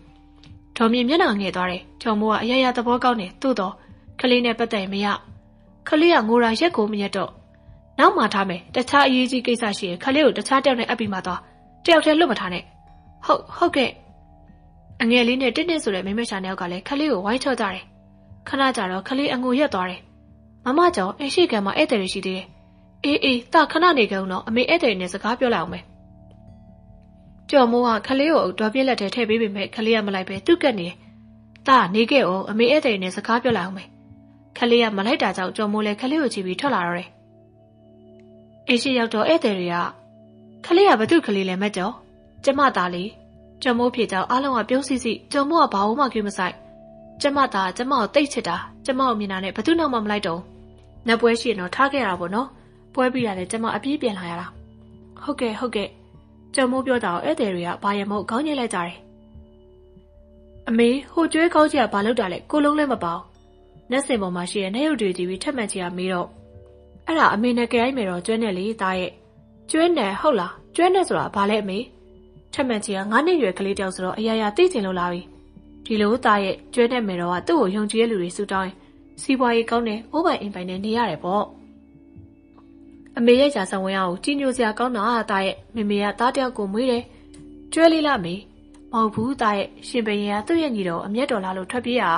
ညီတော်ရဲ့မိဖုရားမှာမွေးကင်းစားသားလေးရှိတယ် ရင်းမက်တွေလိုက်လို့အသက်လူပြေးရင်ခလေးလေးကတောရဲကြံခဲ့တော့ကျွဲမကြီးကခလေးကိုသူ့နှုတ်တိုင်မွေးလိုက်တယ်။ကျော်မိုးကသူ့သားနားလဲစင်မဲ့စကလုံးတို့ရွေးချယ်ကပြောတယ်။ခလေးကအသက်ရှင်လာမေးရှင်တာပေါ့ကျွဲမကြီးကသူ့သားရင်လို့စောက်ရှောက်တယ်။လူနဲ့တလိမ့်ဆန်မတူပေမဲ့မိခင်ဆိုတဲ့မိဘမြတ်တာကြီးမှတော့စောက်ရှောက်လို့ရတာပေါ့။ကျွဲတွေကြမှာခလေးလေးအရွယ်ရောက်လာတယ်။ခွန်အားပလာနဲ့တန်ဆွမ်းမှုလဲတာမယ်လူထက်ပိုတာပေါ့ကွယ်။ထက်မှန်ကြီးကကျော်မိုးပြောတာကိုမျက်လုံးလေးဝိုင်းပြီးနားထောင်တယ်။အဲ့လိုနဲ့တနေ့မှာ ဟန်တာဝရီပဲခူးမြို့ဟိန္ဒူလူမျိုးတွေကတိုက်ဖို့ဆိုပြီးအရက်9000ရှိတဲ့ကလားလန်ပါကိုတက်မှုလုပ်ပြီးတင်မော9စီးနဲ့လာတယ်။ဟန်တာဝရီမင်းဝိမလာလည်းကလားရံခုခံမှုမစွမ်းတာဘူး။ကလားတွေကသူတို့လူစမ်းကောင်းတဲ့စီစဉ်ထိုးမလားမြို့ကိုတိုက်ရမလားဆိုတဲ့တဝင်လာပါလို့ကပေါ့။စီစဉ်ထိုးရဲဆိုတာဘာလဲမေ။လူစမ်းကောင်းတယောက်ချင်းတိုက်တာပေါ့ကွယ်။ဟန်တာဝရီပြင်မှာကလားလန်ပါကိုတယောက်ချင်းတိုက်နိုင်သူမရှိဘူး။ဝိမလာဘရင်လည်းစိတ်ညစ်ပြီးမူးမက်တွေကိုကျင်ညာမောင်းခတ်ပြီးလူစမ်းကောင်းရှာပေမဲ့တယောက်မှမရအောင် အဲ့လိုနဲ့ချင်းတဲ့ရက်စိတ်ကနေမုံဆိုးတူကဘရင်ကြီးကိုဝင်လျှောက်တယ်သူတောလာရင်ကျွဲရိုင်းအိုကြားမှာခွန်အားပလကောင်ပြီးရဲဆွဲတက်တီပြည့်စုံတဲ့လူငယ်တယောက်ကိုတွေ့ခဲ့တယ်အဲ့ဒီလူငယ်ဆိုကလားလန်ပေါင်းနိုင်အောင်တိုက်နိုင်မှာလို့ဆိုတော့ဝိမလဘရင်လည်းလူသူအစုယုံနဲ့တော်ရင်သားကိုသွားခေါ်စေတာပေါ့တော်ရင်သားဆိုတာထက်မှန်ချင်ရမေတော့ကြုံမို့ကတော်ရင်သားဆိုတာကျောမကြီးမွေးစားတဲ့သားလေးအမေဆက်ပြောမယ်နားထောင်ဟုတ်ကဲ့ထက်မှန်ချင်ကစိတ်ဝင်တစားနဲ့ခေါင်းကြီးပြတယ်တော်ရင်သားလေး ဘရင်ရှိရတော့ရောက်တော့မျိုးဆောင်တဲ့ကကိုတင်ပြပြီး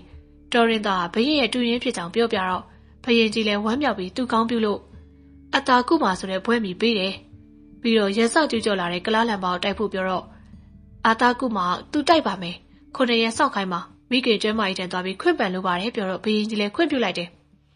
ကျော်မိုးကပြောရင်သူ့မျက်လုံးထဲမှာမျက်ရည်တွေဝဲနေတယ်အမေဆက်ပြောလေနားထောင်လို့ကောင်းတယ်ကျွဲမကြီးကခွင့်ပြုလိုက်လာရင်ကျော်မိုးကခလေးကောင်းလေးကိုပုတ်ပြီး ခွင့်ပြုတာတော့သားရဲ့အဲ့လိုနဲ့အမေကျုပ်ကိုဘရင်ကြီးကတိုင်းပြည်ကိုကျူးကျော်လာတဲ့ကလားလန်ပါကိုတိုက်ဖို့ပြောတယ်ကျွန်တော်တိုက်ရမလားမေ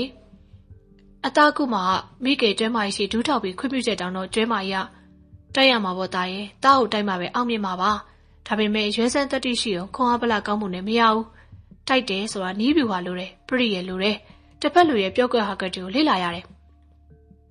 အဲ့လိုစသဖြင့်ကျွဲမကြီးကသူ့သားအာသားကုမှာကို စစ်တိုင်နေတနေကပြောအောင်တင်စားပေးတော့တယ်အသားကုမှာလည်းမိခင်ကျွဲမာကြီးတင် जा ပေးတဲ့စစ်ပညာရက်တွေကိုတင်ယူပြီးတော့ဟန်တာဝရီအပြန်လမ်းခုလက်တစ်ခုရောက်တော့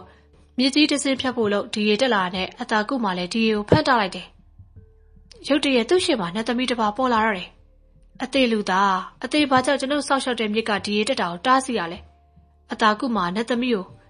အသေးဘသူပါတလဲကျွန်ုပ်တစ်ဖက်ခန့်ကိုကူးပြတ်ဖို့အလုပ်ဒီရီတက်လာတာနဲ့တားစီခြင်းဖြစ်ပါတယ်။ ကျွန်ုပ်ဟာပင်လယ်သမုဒ္ဒရာမြစ်ချောင်းစတာတွေကိုဆောက်ရှောက်တဲ့မေခလာနတ်သမီးဖြစ်တယ်။ကျွန်ုပ်စောက်ရှောက်ရအောင်အဘယ်သူမှနှောက်ယှက်ရမရပါအခုအသေးနှောက်ယှက်တားဆီးခဲ့လိမ့်ပြီကျွန်ုပ်ကလည်းကျွန်ုပ်လမ်းခေးမှာအတားဆီးဖြစ်လို့တားထားတာပါအသားကုမာနဲ့မေခလာနဲ့သမီးတို့တယောက်နဲ့တယောက်အပြစ်တင်ပြောဆိုတာမေခလာနဲ့သမီးကကောင်းပြီလေအသေးနဲ့ကျွန်ုပ်ပညာပြိုင်မယ်နိုင်သူကရှုံးတဲ့သူစီလိုတာတောင်းချင်းစိန်ခေါ်ရတော့အသားကုမာရတယ်လေအသေးနဲ့သမီးပြောဟုတ်ပြီအသေးကအချိန်တမောင်းအတွက် ။တရေကြောပြောင်ရဲ့အမိတစ်ထောင်ဖြတ်ပြီးယူလာပေးရမယ်။ကျွန်ုပ်ကချင်းချင်းတစ်ထောင်ရှာယူလာမယ်ဖြစ်မလား။ဘာလို့မဖြစ်ရမှာလဲ။အသေးနဲ့သမီးဂရိသာတီးစီ။အသားကုံမှာပြောလျာတော့မေခလာနဲ့သမီးကကျွန်ုပ်ဂရိတီးတယ်။ကဲဘယ်တော့စမလဲ။အသေးပြော။အခုပဲစမယ်။ကောင်းပြီ။အသားကုံမှာလျင်မြန်တဲ့အဟုန်နဲ့တောထဲဝင်ပြီးတရေကြောပြောင်များရဲ့အမိကိုအချိန်တမောင်းတွင်အမိဖြက်ကမေခလာနဲ့သမီးထံယူလာတော့တယ်။မိခလာနဲ့သမီးကလည်းချင်းငယ်တထောင်ဖန်ဆင်းထားလိုက်တယ်။ရော့ ဒီမှာတရေကြောပြောင်ရဲ့အမိတွေတထောင်တိတိရှိတယ်။ဟုတ်ပြီဒီမှာလေကျွန်ုပ်ရှာထားတဲ့ချင်းငင်တထောင်မိခလာနဲ့သမီးကချင်းငင်တထောင်ကိုပြပြီးအတာကုံမှာရေတွက်စေသလိုသူကိုယ်တိုင်ကအတာကုံမှာစီကတရေကြောပြောင်အမိတထောင်ယူပြီးရေနေစင်တော့ရုတ်တဲ့အမိတထောင်ကနောက်ခါကျတဲ့ထိုးပြီးဟွက်ထားလိုက်တော့တယ်။တော်ရင်သာအသင်ရှုံးပြီးတရေအမိတထောင်လို့နေတယ်ဟင်အတာကုံမှာရေတက်တဲ့ကြီးကတထောင်ပြည့်တော်လဲမိခလာနဲ့သမီးရေတက်တဲ့အမိတထောင်လိုတာကြောင့်အတာကုံမှာရှုံးသွားတယ်။ဟုတ်ပြီ။ ကျွန်ုပ်ရှုံးပြီအသေးနဲ့သမီးလိုတာခိုင်းပြီတော့ဟမ်မေခလာနဲ့သမီးကပြုံးလိုက်တယ်ပြီးတော့အတင်တော်တွင်သာမင်္ဂလာဆောင်တဲ့နေ့မှာဇပီရစ်ရွှေစင်ကြအောင်နဲ့ကျွဲကောင်းဖြစ်ကျွန်ုပ်ကိုတင်မြောက်ရမယ်ဟင်အตาကုံမှာကျွဲကောင်းဆိုရင်အံ့ဩသွားတယ်ရှင်ထဲမှာလည်းထိတ်ကနေမေခလာနဲ့သမီးကအတင်ကရှုံးသူလေကျွန်ုပ်တောင်းဆိုတဲ့အတိုင်းလုပ်ပေးမယ်လို့ကြိခံထားရမလားဟုတ်ပါတယ်ကျွန်ုပ်ကယောက်ျားပါအတင်တောင်းဆိုတဲ့အတိုင်းဖြစ်ရစေမယ် ကဲအဲ့လိုဆိုလဲတင်လို့ရအောင်သွားပါတော့ကျွန်ုပ်အတင်ကိုစောက်ရှောက်ပါမယ်အตาကုံမှာမြစ်တစ်ဖက်ကံကိုဖျက်ဖို့လို့တော့မြစ်ရည်ကကြည်လင်ငိမ့်သက်သွားတယ်လင်းမြန်တဲ့အဟုန်နဲ့မြစ်ကိုပြတ်ပြီးဟန်တာဝရီနန်းတော်ကိုလာခဲ့တယ်။ဘေးရနန်းတော်ရောက်တော့သူ့ကိုနန်းတွေးသူတွေကအောင်တပြေပန်းတွေအမွှေးနဲ့တာတွေပတ်ဖြန်းကြိုးကြတယ်။အတကုံမှာဟန်တာဝရီသူရဲ့ကောင်အတကုံမှာသူရဲ့ကောင်အတကုံမှာစတဲ့ပြေကြွေးကြော်ကြတယ်။ဝိမလာမင်းကြီးရှေ့ရောက်တော့တူတော်ကိုကျွန်ုပ်မျှော်နေတာမနေ့ပြည့်ဆိုကလားလန်မာနဲ့စီချင်းထုတ်ကိုရက်စေပါပြီ။ စိတ်ချတော်မူပါအရှင်မင်းကြီးကျွန်တော်မျိုးကလားလန်မာကိုနိုင်အောင်တိုက်ပါပါ။အတကုံမှာပြန်လျှောက်တယ်ဝိမလာမင်းကြီးကယုံကြည်ပါတယ်တူတော်တူတော်တိုက်ပွဲဝင်မှုကြက်ရလက်နဲ့တောင်းဆိုပါကာတိုင်းနဲ့နှစ်ဖက်သွားဓာတ်ရှည်တစ်ချောင်းသာပေးပါကျွန်ုပ်ကလားလန်မကောင်းအောင်ဖြတ်ပြီးအရှင်မင်းကြီးကိုဆက်တာပါမယ်အတာကုံမှာထိုးထိုးလျှောက်တာကိုအခါဆောင်ဝင်နေတဲ့မူးမက်တွေနဲ့စစ်သူတော်ကကြိတ်ပြုံးနေသူတို့ကအတာကုံမရဲ့ဆောင်မယုံကြည်ကြကလားလန်မရဲ့နဲ့ခနာကိုတောင်းတမှုကအတာကုံမထိုက်အများကြီးတာတယ် ကလားလန်မအရက်တကလည်းစီချင်းထိုးလာသူတွေအတွေ့အကြုံတိုက်ခိုက်ရရှိပြီးသားပွဲတိုင်းနိုင်တယ်လို့သိထားကြတယ်စစ်သူကြီးဖေဟာတူတော်အတာကုံမှလိုချင်တဲ့စစ်လက်နဲ့ပစ္စည်းတွေအသင်ကိုယ်တိုင်လက်နဲ့တိုက်ကထုတ်ပေးလိုက်မှန်မဗျာတူတော်စစ်တီကြီးနဲ့လိုက်သွားလိုရာအကုန်ယူမှန်မဗျာအတာကုံမှလည်းစစ်သူကြီးနဲ့တူဘယေဝိမလာရှိရထွက်လာပြီးလက်နဲ့တိုက်ကိုသွားတယ်စစ်သူကြီးကအတာကုံမှလက်နဲ့တိုက်ဖွင့်မိပြီးအသင်ကြိုက်တဲ့လက်နဲ့ယူပြီးတော့ကျွန်ုပ်အထင်အသင်ကလားလံပါအောင်မနိုင်နိုင်ဘူး ဟိုကခုံအားနဲ့တိုက်ရိုက်ခိုင်းကောင်းတယ်အတာကုံမှသူ့စိတ်ကြိုက်ဓာတ်တစ်ချောင်းယူပြီးစကြည့်ရပြီးတော့ကားတိုင်းတစ်ခုယူလိုက်ပြီးတိုင်းပြည်ကာကွယ်ရေးအတွက်တာဝန်ရှိဆုံးကစစ်သူကြီးမလားအခုလိုတိုင်းပြည်ကိုရန်စကျူးကျော်သူကိုကိုယ်တိုင်တိုက်ဖို့မကြိုးစားပဲတိုက်မဲ့လူကိုစိတ်တက်ကြအောင်ဘာလို့ပြောရတာလဲဒါကတစ္ဆာဖောက်တာပဲစစ်တို့ရဲ့သဘောဟာကြက်ရည်ဖန်ရင်ရှိဖို့နဲ့စိတ်တက်မှကြောဖို့အထက်ကမလားစစ်သူကြီးမနေ့ပြန်စောင့်ကြည့်ပါတိုင်းပြည်အတွက်အရေးကြီးဆုံးအချိန်မှာတာဝန်မြူတဲ့စစ်သူကြီးနဲ့ ကျွန်ုပ်ကလားလန်ပါနဲ့စီချင်းထိုးတဲ့ပွဲပြီးနောက်တစ်ပွဲနှွှဲရတာပေါ့ဟွန်းအတာကုံမစကားကြောင့်စစ်သူကြီးရဲ့ခန္ဓာကိုစက်ခနဲ့တုံသားတယ်ဟုတ်ဟုတ်ကျွန်ုပ်နဲ့အတင်ကတတိုင်းမီရဲ့သားတယ်လေဘာလို့စီးချင်းထိုးမှာလဲအတင်တာဝန်မကြေလို့ကျွန်ုပ်တာဝန်ကြေချင်ပါတယ်အခုပြဿနာကျွန်ုပ်ဘလို့မှစစ်သူကြီးကအသားကုံမအတန်တုံတုံနဲ့ရှင်းပြတယ်အတင်တကယ်တာဝန်ကြေချင်လားကြေချင်ပါတယ်အဲ့လိုဆိုကျွန်ုပ်ပြောတဲ့အတိုင်းလို့အဲ့လိုဆိုပြီးအသားကုံမသူတိုက်လိုက်တဲ့ပုံစံစစ်သူကြီးကိုပြောပြတယ် အဲ့လိုဆိုရင်အသားကုံမသူတိုက်လိုတဲ့ပုံစံကိုစစ်သူကြီးကိုပြောပြတယ်စစ်သူကြီးလည်းအသေးချလိုက်မှတ်ထားပြီးသူ့တက်ကိုပြင်ဆင်လိုက်ပြီးအတာကုံမှာကားတိုင်းနဲ့နှစ်ဖက်သွားထားရှုကမ်းပြီးကလန်းလန်မှာတော့စခန်းချထားတဲ့ကန်တဟက်ဘက်ကိုမြို့ရိုးပေါ်တက်ပြီးတော့အတာကုံမှာတဲ့ဟေးကျေလောင်တဲ့တန်နဲ့ကြွေးကြော်လိုက်တော့တယ်မြို့ရိုးပြင်ဘက်တဲတောင်ပေါ်မှာတော့ကလားလန်ပါကြီးမရဲ့လမ်းကြီးကိုကမ်းပြီးစောင့်နေတယ်မြို့ရိုးပေါ်မှာတော့ဟန်တာပရီမြို့သူမြို့သားတွေအတာကုံမနဲ့ကလားလန်ပါစီချင်းထုံးမဲ့ပွဲကိုကြည့်နေကြတယ် အတာကုံမဟန်တာပရီသူရဲ့ကောင်အတာကုံမကြွေးကြော်တဲ့နေကဘဝင်ထက်ကိုညှမ်းတက်နေတော့တယ်တိတ်မကြမြို့တကားပွင့်လာပြီးအတာကုံမထွက်လာတယ်ကလားလန်ဘာနောက်မှာတော့သင်းမောခုနှစ်စီးအပြည့်ပါလာတဲ့ကလားတက်တွေကလားလန်မသူနဲ့လာတိုင်းမဲ့အသားကုံမောင်မြင်တော့အထင်သေးသွားတယ်။အားရပါရရီမောလိုက်ပြီးသူကင်ထားတဲ့ကြီးမားတဲ့လန်ကြီးကိုဝှေ့ရမ်းလိုက်တယ်။သူ့ထံကိုပြေးလာတဲ့အသားကုံမောင်လှန်ကြီးနဲ့ပြေးထိုးတော့အသားကုံမောင်အလင်းမြန်ရှောင်လိုက်တော့တယ်။လန်မစိတ်ထိုသွားတယ်။သူ့ရဲ့လန်ကြောင်ရှောင်လိုက်သူကရှားတယ်။နောက်တစ်ချိန်လှန်ကိုဝှေ့ရပြီးတော့ အသားကုံမောင်ထိုးပြန်တယ်။အသားကုံမောင်ဒိုင်းနဲ့ကတော့ဒိုင်းပေါက်ထွက်သွားတော့လွတ်လိုက်တယ်။လန်မလန်ထိတ်မှာဒိုင်းကတ်ပါနေတော့ချိန်သားမကိုက်တော့အသားကုံမလမ်းမကိုပတ်ပြီးတိုက်ဖို့အကွက်ချောင်းနေအလွတ်လင်းမြတဲ့အသားကုံမရဲ့စော်ဝိုင်းပုံလဲတာလမ်းမလိုက်ကြည့်နေစမှာပဲတစ်ချက်ငိုင်းမှာတော့အတာကုံမလမ်းမရဲ့လမ်းတွေမှာခန္ဓာကိုယ်ချင်းပူပြီးလဲကုတ်ကိုဓာတ်နဲ့ပိုင်းလိုက်တော့တယ်အတာကုံမကွမျိုးပေါ်အတန်နေညံ့စီသွားတယ်လမ်းမကောင်းရင်လည်းတောင်မြင်ပေါ်ကျသွားတော့တယ် အဲ့ဒီချိန်မှာပဲကလားတွေစီလာတဲ့တင်းမောတွေမီးဟုံဟုံတောက်နေတော့တယ်ဟာမီးတောက်နေတဲ့တင်းမောငိမ့်သက်ဖို့အပြေးသွားကြစင်ပဲဟန်တာရီတတားတွေကဂစင်ကလျားဖြစ်နေတဲ့ကလားတွေကိုအလွယ်တကူတိုက်ခတ်အနိုင်ယူလိုက်တယ်နေ့လယ်လောက်ကစတဲ့တိုက်ပွဲကညနေမဆောင်ခင်မှာပဲပြီးသွားတော့တယ်ဝိမလာမင်းကြီးလည်းအားရတော်မူပြီးသူ့သမီးတော်နဲ့အတာကုံမထိမ်းမြပေးပြီးတော့အိမ်ရှိအရာအနှင်းမို့လုပ်တယ်အတာကုံမလည်းမိခလာနဲ့သမီးကိုပေးထားတဲ့ခရီးတိုင်းစပြူရဲရွှေစင်ကိရောက်နဲ့ကျွဲကောင်းလက်ထက်တဲ့က သူ့ကိုမြောက်ရမယ်ဆိုတဲ့မွေးစားမိခင်ကျွဲမကြီးစီလာမေးတယ်။ဒါစပြူရဲရွှေစင်ကိရောက်တာအမေကောင်းမယ်အမေကောင်းတာဖျက်ယူပြီးတားလက်ထပ်ဖို့နှက်ကိုပူဇော်ပါသားရဲ့ဟာမဟုတ်တာမေရဲ့အမေကောင်တားမဖြတ်ရပါဘူး။ဒါလက်မထက်ရရင်နေပါစေအမေနဲ့ပဲတာအတူလာနေပါစေ။အသားကုံမပြောတော့မိခင်ကျွဲမကြီးကခေါင်းခါတယ်။အမေကတလိမ့်ဆန်မသားရဲ့တားလူလူဆိုတော့လူပတ်ဝန်းကျင်မှာရှင်တန်ရတာအခုသားဟန်တာရီသူရဲ့ကောင်ဘရင်မင်းမြရဲ့တမတ်တော် အိရှင်မင်းသားဖြစ်လာတော့မှာမလားဒီခွေရကိုလက်လွတ်မခံပါနဲ့ဂရိသစ္စာကိုလည်းမဖောက်နဲ့အမေဟာအဟိတ်တရိษံမှာအမေကောင်ဖြတ်ယူပါအမေရဲ့မျက်ရည်ဆက်လက်နဲ့ပြောတဲ့မိခင်ရှင်မှာအသားကုံမှာဒူးထောက်ထိုင်ချလိုက်တယ်ဒါအမေလေပေါ်သားရဲ့ဓာတ်တင်လိုက်ပါဘာလို့မလို့လဲအမေအမေပြောသလိုလုပ်ပါသားရဲ့အသားကုံမှာလည်းမိခင်စကားမလွန်ဆန္ဒကြောင့်သူ့တောင်းမိခင်လေးကုတ်ပေါ်တင်လိုက်တယ်မိခင်ကျွဲမကြီးကလေးနဲ့စာနဲ့ ကျွန်ုပ်ဒီအဟိတ်တရိษံဖြစ်တော်လဲတရဝါတို့ရဲ့အသက်ကိုမသက်ခဲ့ဘူးပါဆောင်စည်းအတော်တီလာတို့ကိုစောင့်ထိန်ခဲ့ပါတယ်လူတိုင်မွေးမြူခဲ့သောဤသားပေါ်မှာမိခင်ရေလိုမြစ်တာထား၍ဘဲကားမှညွညွခြင်းမရှိခဲ့ပါဤစကားမှန်ကန်မှာကျွန်ုပ်ရဲ့ဦးကောင်းသည်သွေးမဲ့ထွက်ပဲပြက်စီ၍မြေသူမခပဲတားလက်ထဲရောက်ပါစေသစ္စာဆိုလိုက်တဲ့အခါတော့လေပြင်းနေတိုက်လာပြီးရုတ်တရက်မိုးတွေရွာလာသလိုလျက်စီးတွေလက်မိုးကြိုးပြစ်တဲ့နေစုညံလာတော့တယ်အသားကုံမှလည်းရုတ်တရက်ကြောင်ကြည့်နေရမှတတိယပြီးလက်ထဲကြည့်လိုက်ရ မိခင်ရဲ့ဦးကောင်သူ့လက်ထဲရောက်လို့လာတော့တယ်အမေအသားကုံမရဲ့စွနစ်စော်အောင်လိုက်တဲ့တန်ဟာမိုးချိတ်တန်ထက်ပြီးပိုးရတင်လောင်သွားတော့တယ်ဟမ်ကြုံမိုးစကားဆုံးမှအိပ်ပျော်လာလားမဆုံးခင်ပဲအိပ်ပျော်လာလားမသိထက်မှန်ကြီးကကြုံမိုးပေါ်မှာအိပ်ပျော်လို့နေတော့တယ်ခလေးကိုအိပ်ရတယ်ရွှေ့ထားလိုက်တယ်သူ့ဘဝမှာဘာမှမလို့အရာရာပြည့်စုံနေဆိုပေမဲ့သူ့သားလေးအတွက်မိရင်ဖိုင်ရင်လုံမှာပဲလို့တွေးပေမဲ့ဖြစ်မလာမဲ့ဘဝအတွက်တွေးမနေတော့အားလုံးထက်ပိုတဲ့မြစ်တာသူပေးနိုင်တယ်လေ ဤသို့နဲ့ထက်မှန်ကြီးတယောက်တဖြည်းဖြည်းအရွယ်ရောက်လာတယ်ဆယ်ရဲအောင်တော့ဂုံလူ၅ဘာသာပါတော့စေတက်ကတူတက်ခွင့်ရတယ်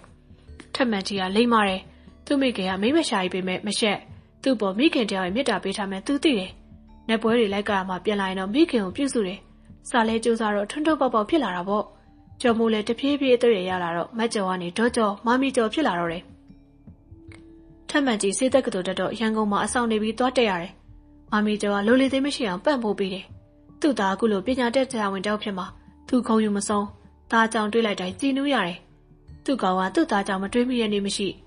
နှစ်ပေါင်း25နှစ်လောက်နှစ်ပွဲကလာရတာအသက်အရွယ်ရလာတာနဲ့အမောကမခက်နိုင်ခဏခဏမူးမူးလဲလို့စိတ်ခန့်သွားရတာလည်းအကျဉ်းချင်းသူ့ပေမဲ့လည်းသူနဲ့ကရတာရက်လို့မဖြစ်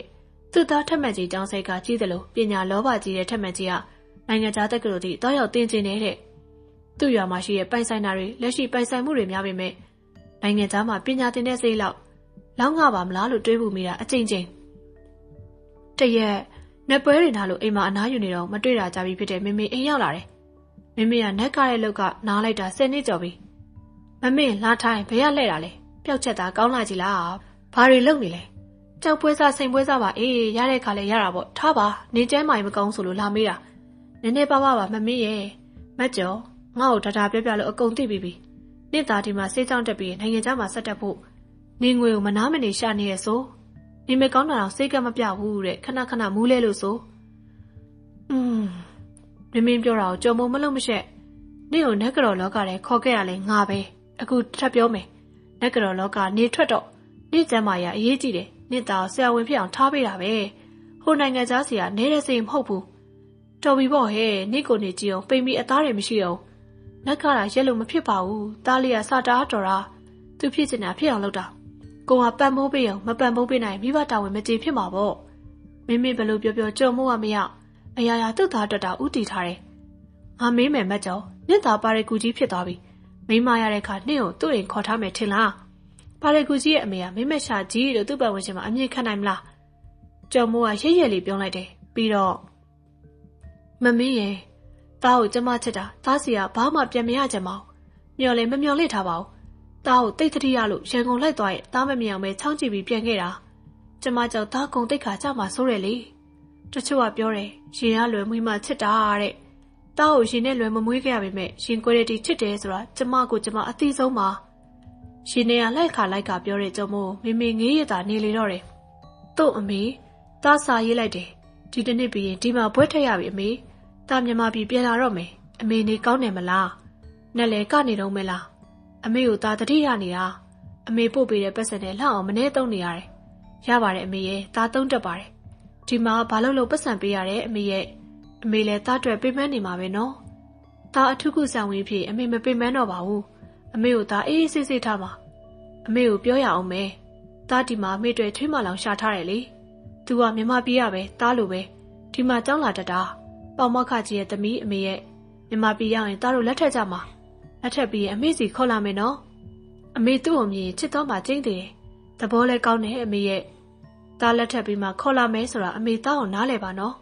အမေကိုသားနားလဲပေမဲ့တခြားသူတွေကနားမလဲမှဆိုတဲ့အမေရဲ့အမေကိုအရင်ချစ်တယ်ဒါပဲနော်သားကိုတတိယနေအမေရဲ့သားထက်မှန်ကြီးတင်ပြူးလေးပေါ်မှာပက်လက်လန်ပြီးစာရထဲသားရေးထားတဲ့စာကိုအကြိမ်ကြိမ်စူးစမ်းဖတ်လိုက်တယ်။ရှင်နဲ့ကလည်းလှိုက်ကနေမျက်လုံးတွေကလည်းပြဝင်နေတော့တယ်။ဘာဝန်းမှလည်းကောင်းကောင်းမမြင်ရ။ ဘာပစ္စည်းမှမရှိတော့တဲ့အင်ကြီးကနာစီဘွားကျမ်းမာရေးမကောင်းလွန်းတာကြောင့်ဆွန့်လိုက်ရပြီးဒါလေးပညာရေးအတွက်ရွာလေတွေရားတွေခြံတွေနောတွေအတွင်းပစ္စည်းတွေပြေအမေနဲ့ကဲမယ်တော့ကျွဲကောက်မှလွဲပြီးကြံတဲ့ရုပ်တွေပြီးတော့ပေါင်ထားတဲ့ဒီရင်ကြီးအခုဆုံးပြီကိုယ်တိုင်စိတ်တလုံးမထိုးမတောင့်နေခဲ့တဲ့သူ့ဘဝနေဝင်တော့မှလားဒီရင်ကြီးကလည်းသူ့မကြခင်ဆင်းရတော့မှာအစားတောက်ချုံခဲ့တဲ့သူ့ခန္ဓာကိုယ်ကပိတ်လိနေတယ်အပြက်တဲ့ယောဂါဝင်စိတ်ထောင်းကိုကြေဘွားမှာသားလေးသာမျောလင်းမိတယ် ဆရာဝန်သားလေးပဲအမေကိုကူပေးနိုင်မှာပါခြေတံကိုကြားရတယ်ခေါင်းထောင်ကြည့်ဖို့တော့အားမရှိသူ့ကိုကြွေးလာတောင်းနေသူလားသူ့မှာဆက်ဖို့ဘာမှမရှိအဝိထုတ်သေးသေးလေးနဲ့အမေရုပ်ထုခေါင်းပဲရှိတာမမကျော်ဟင်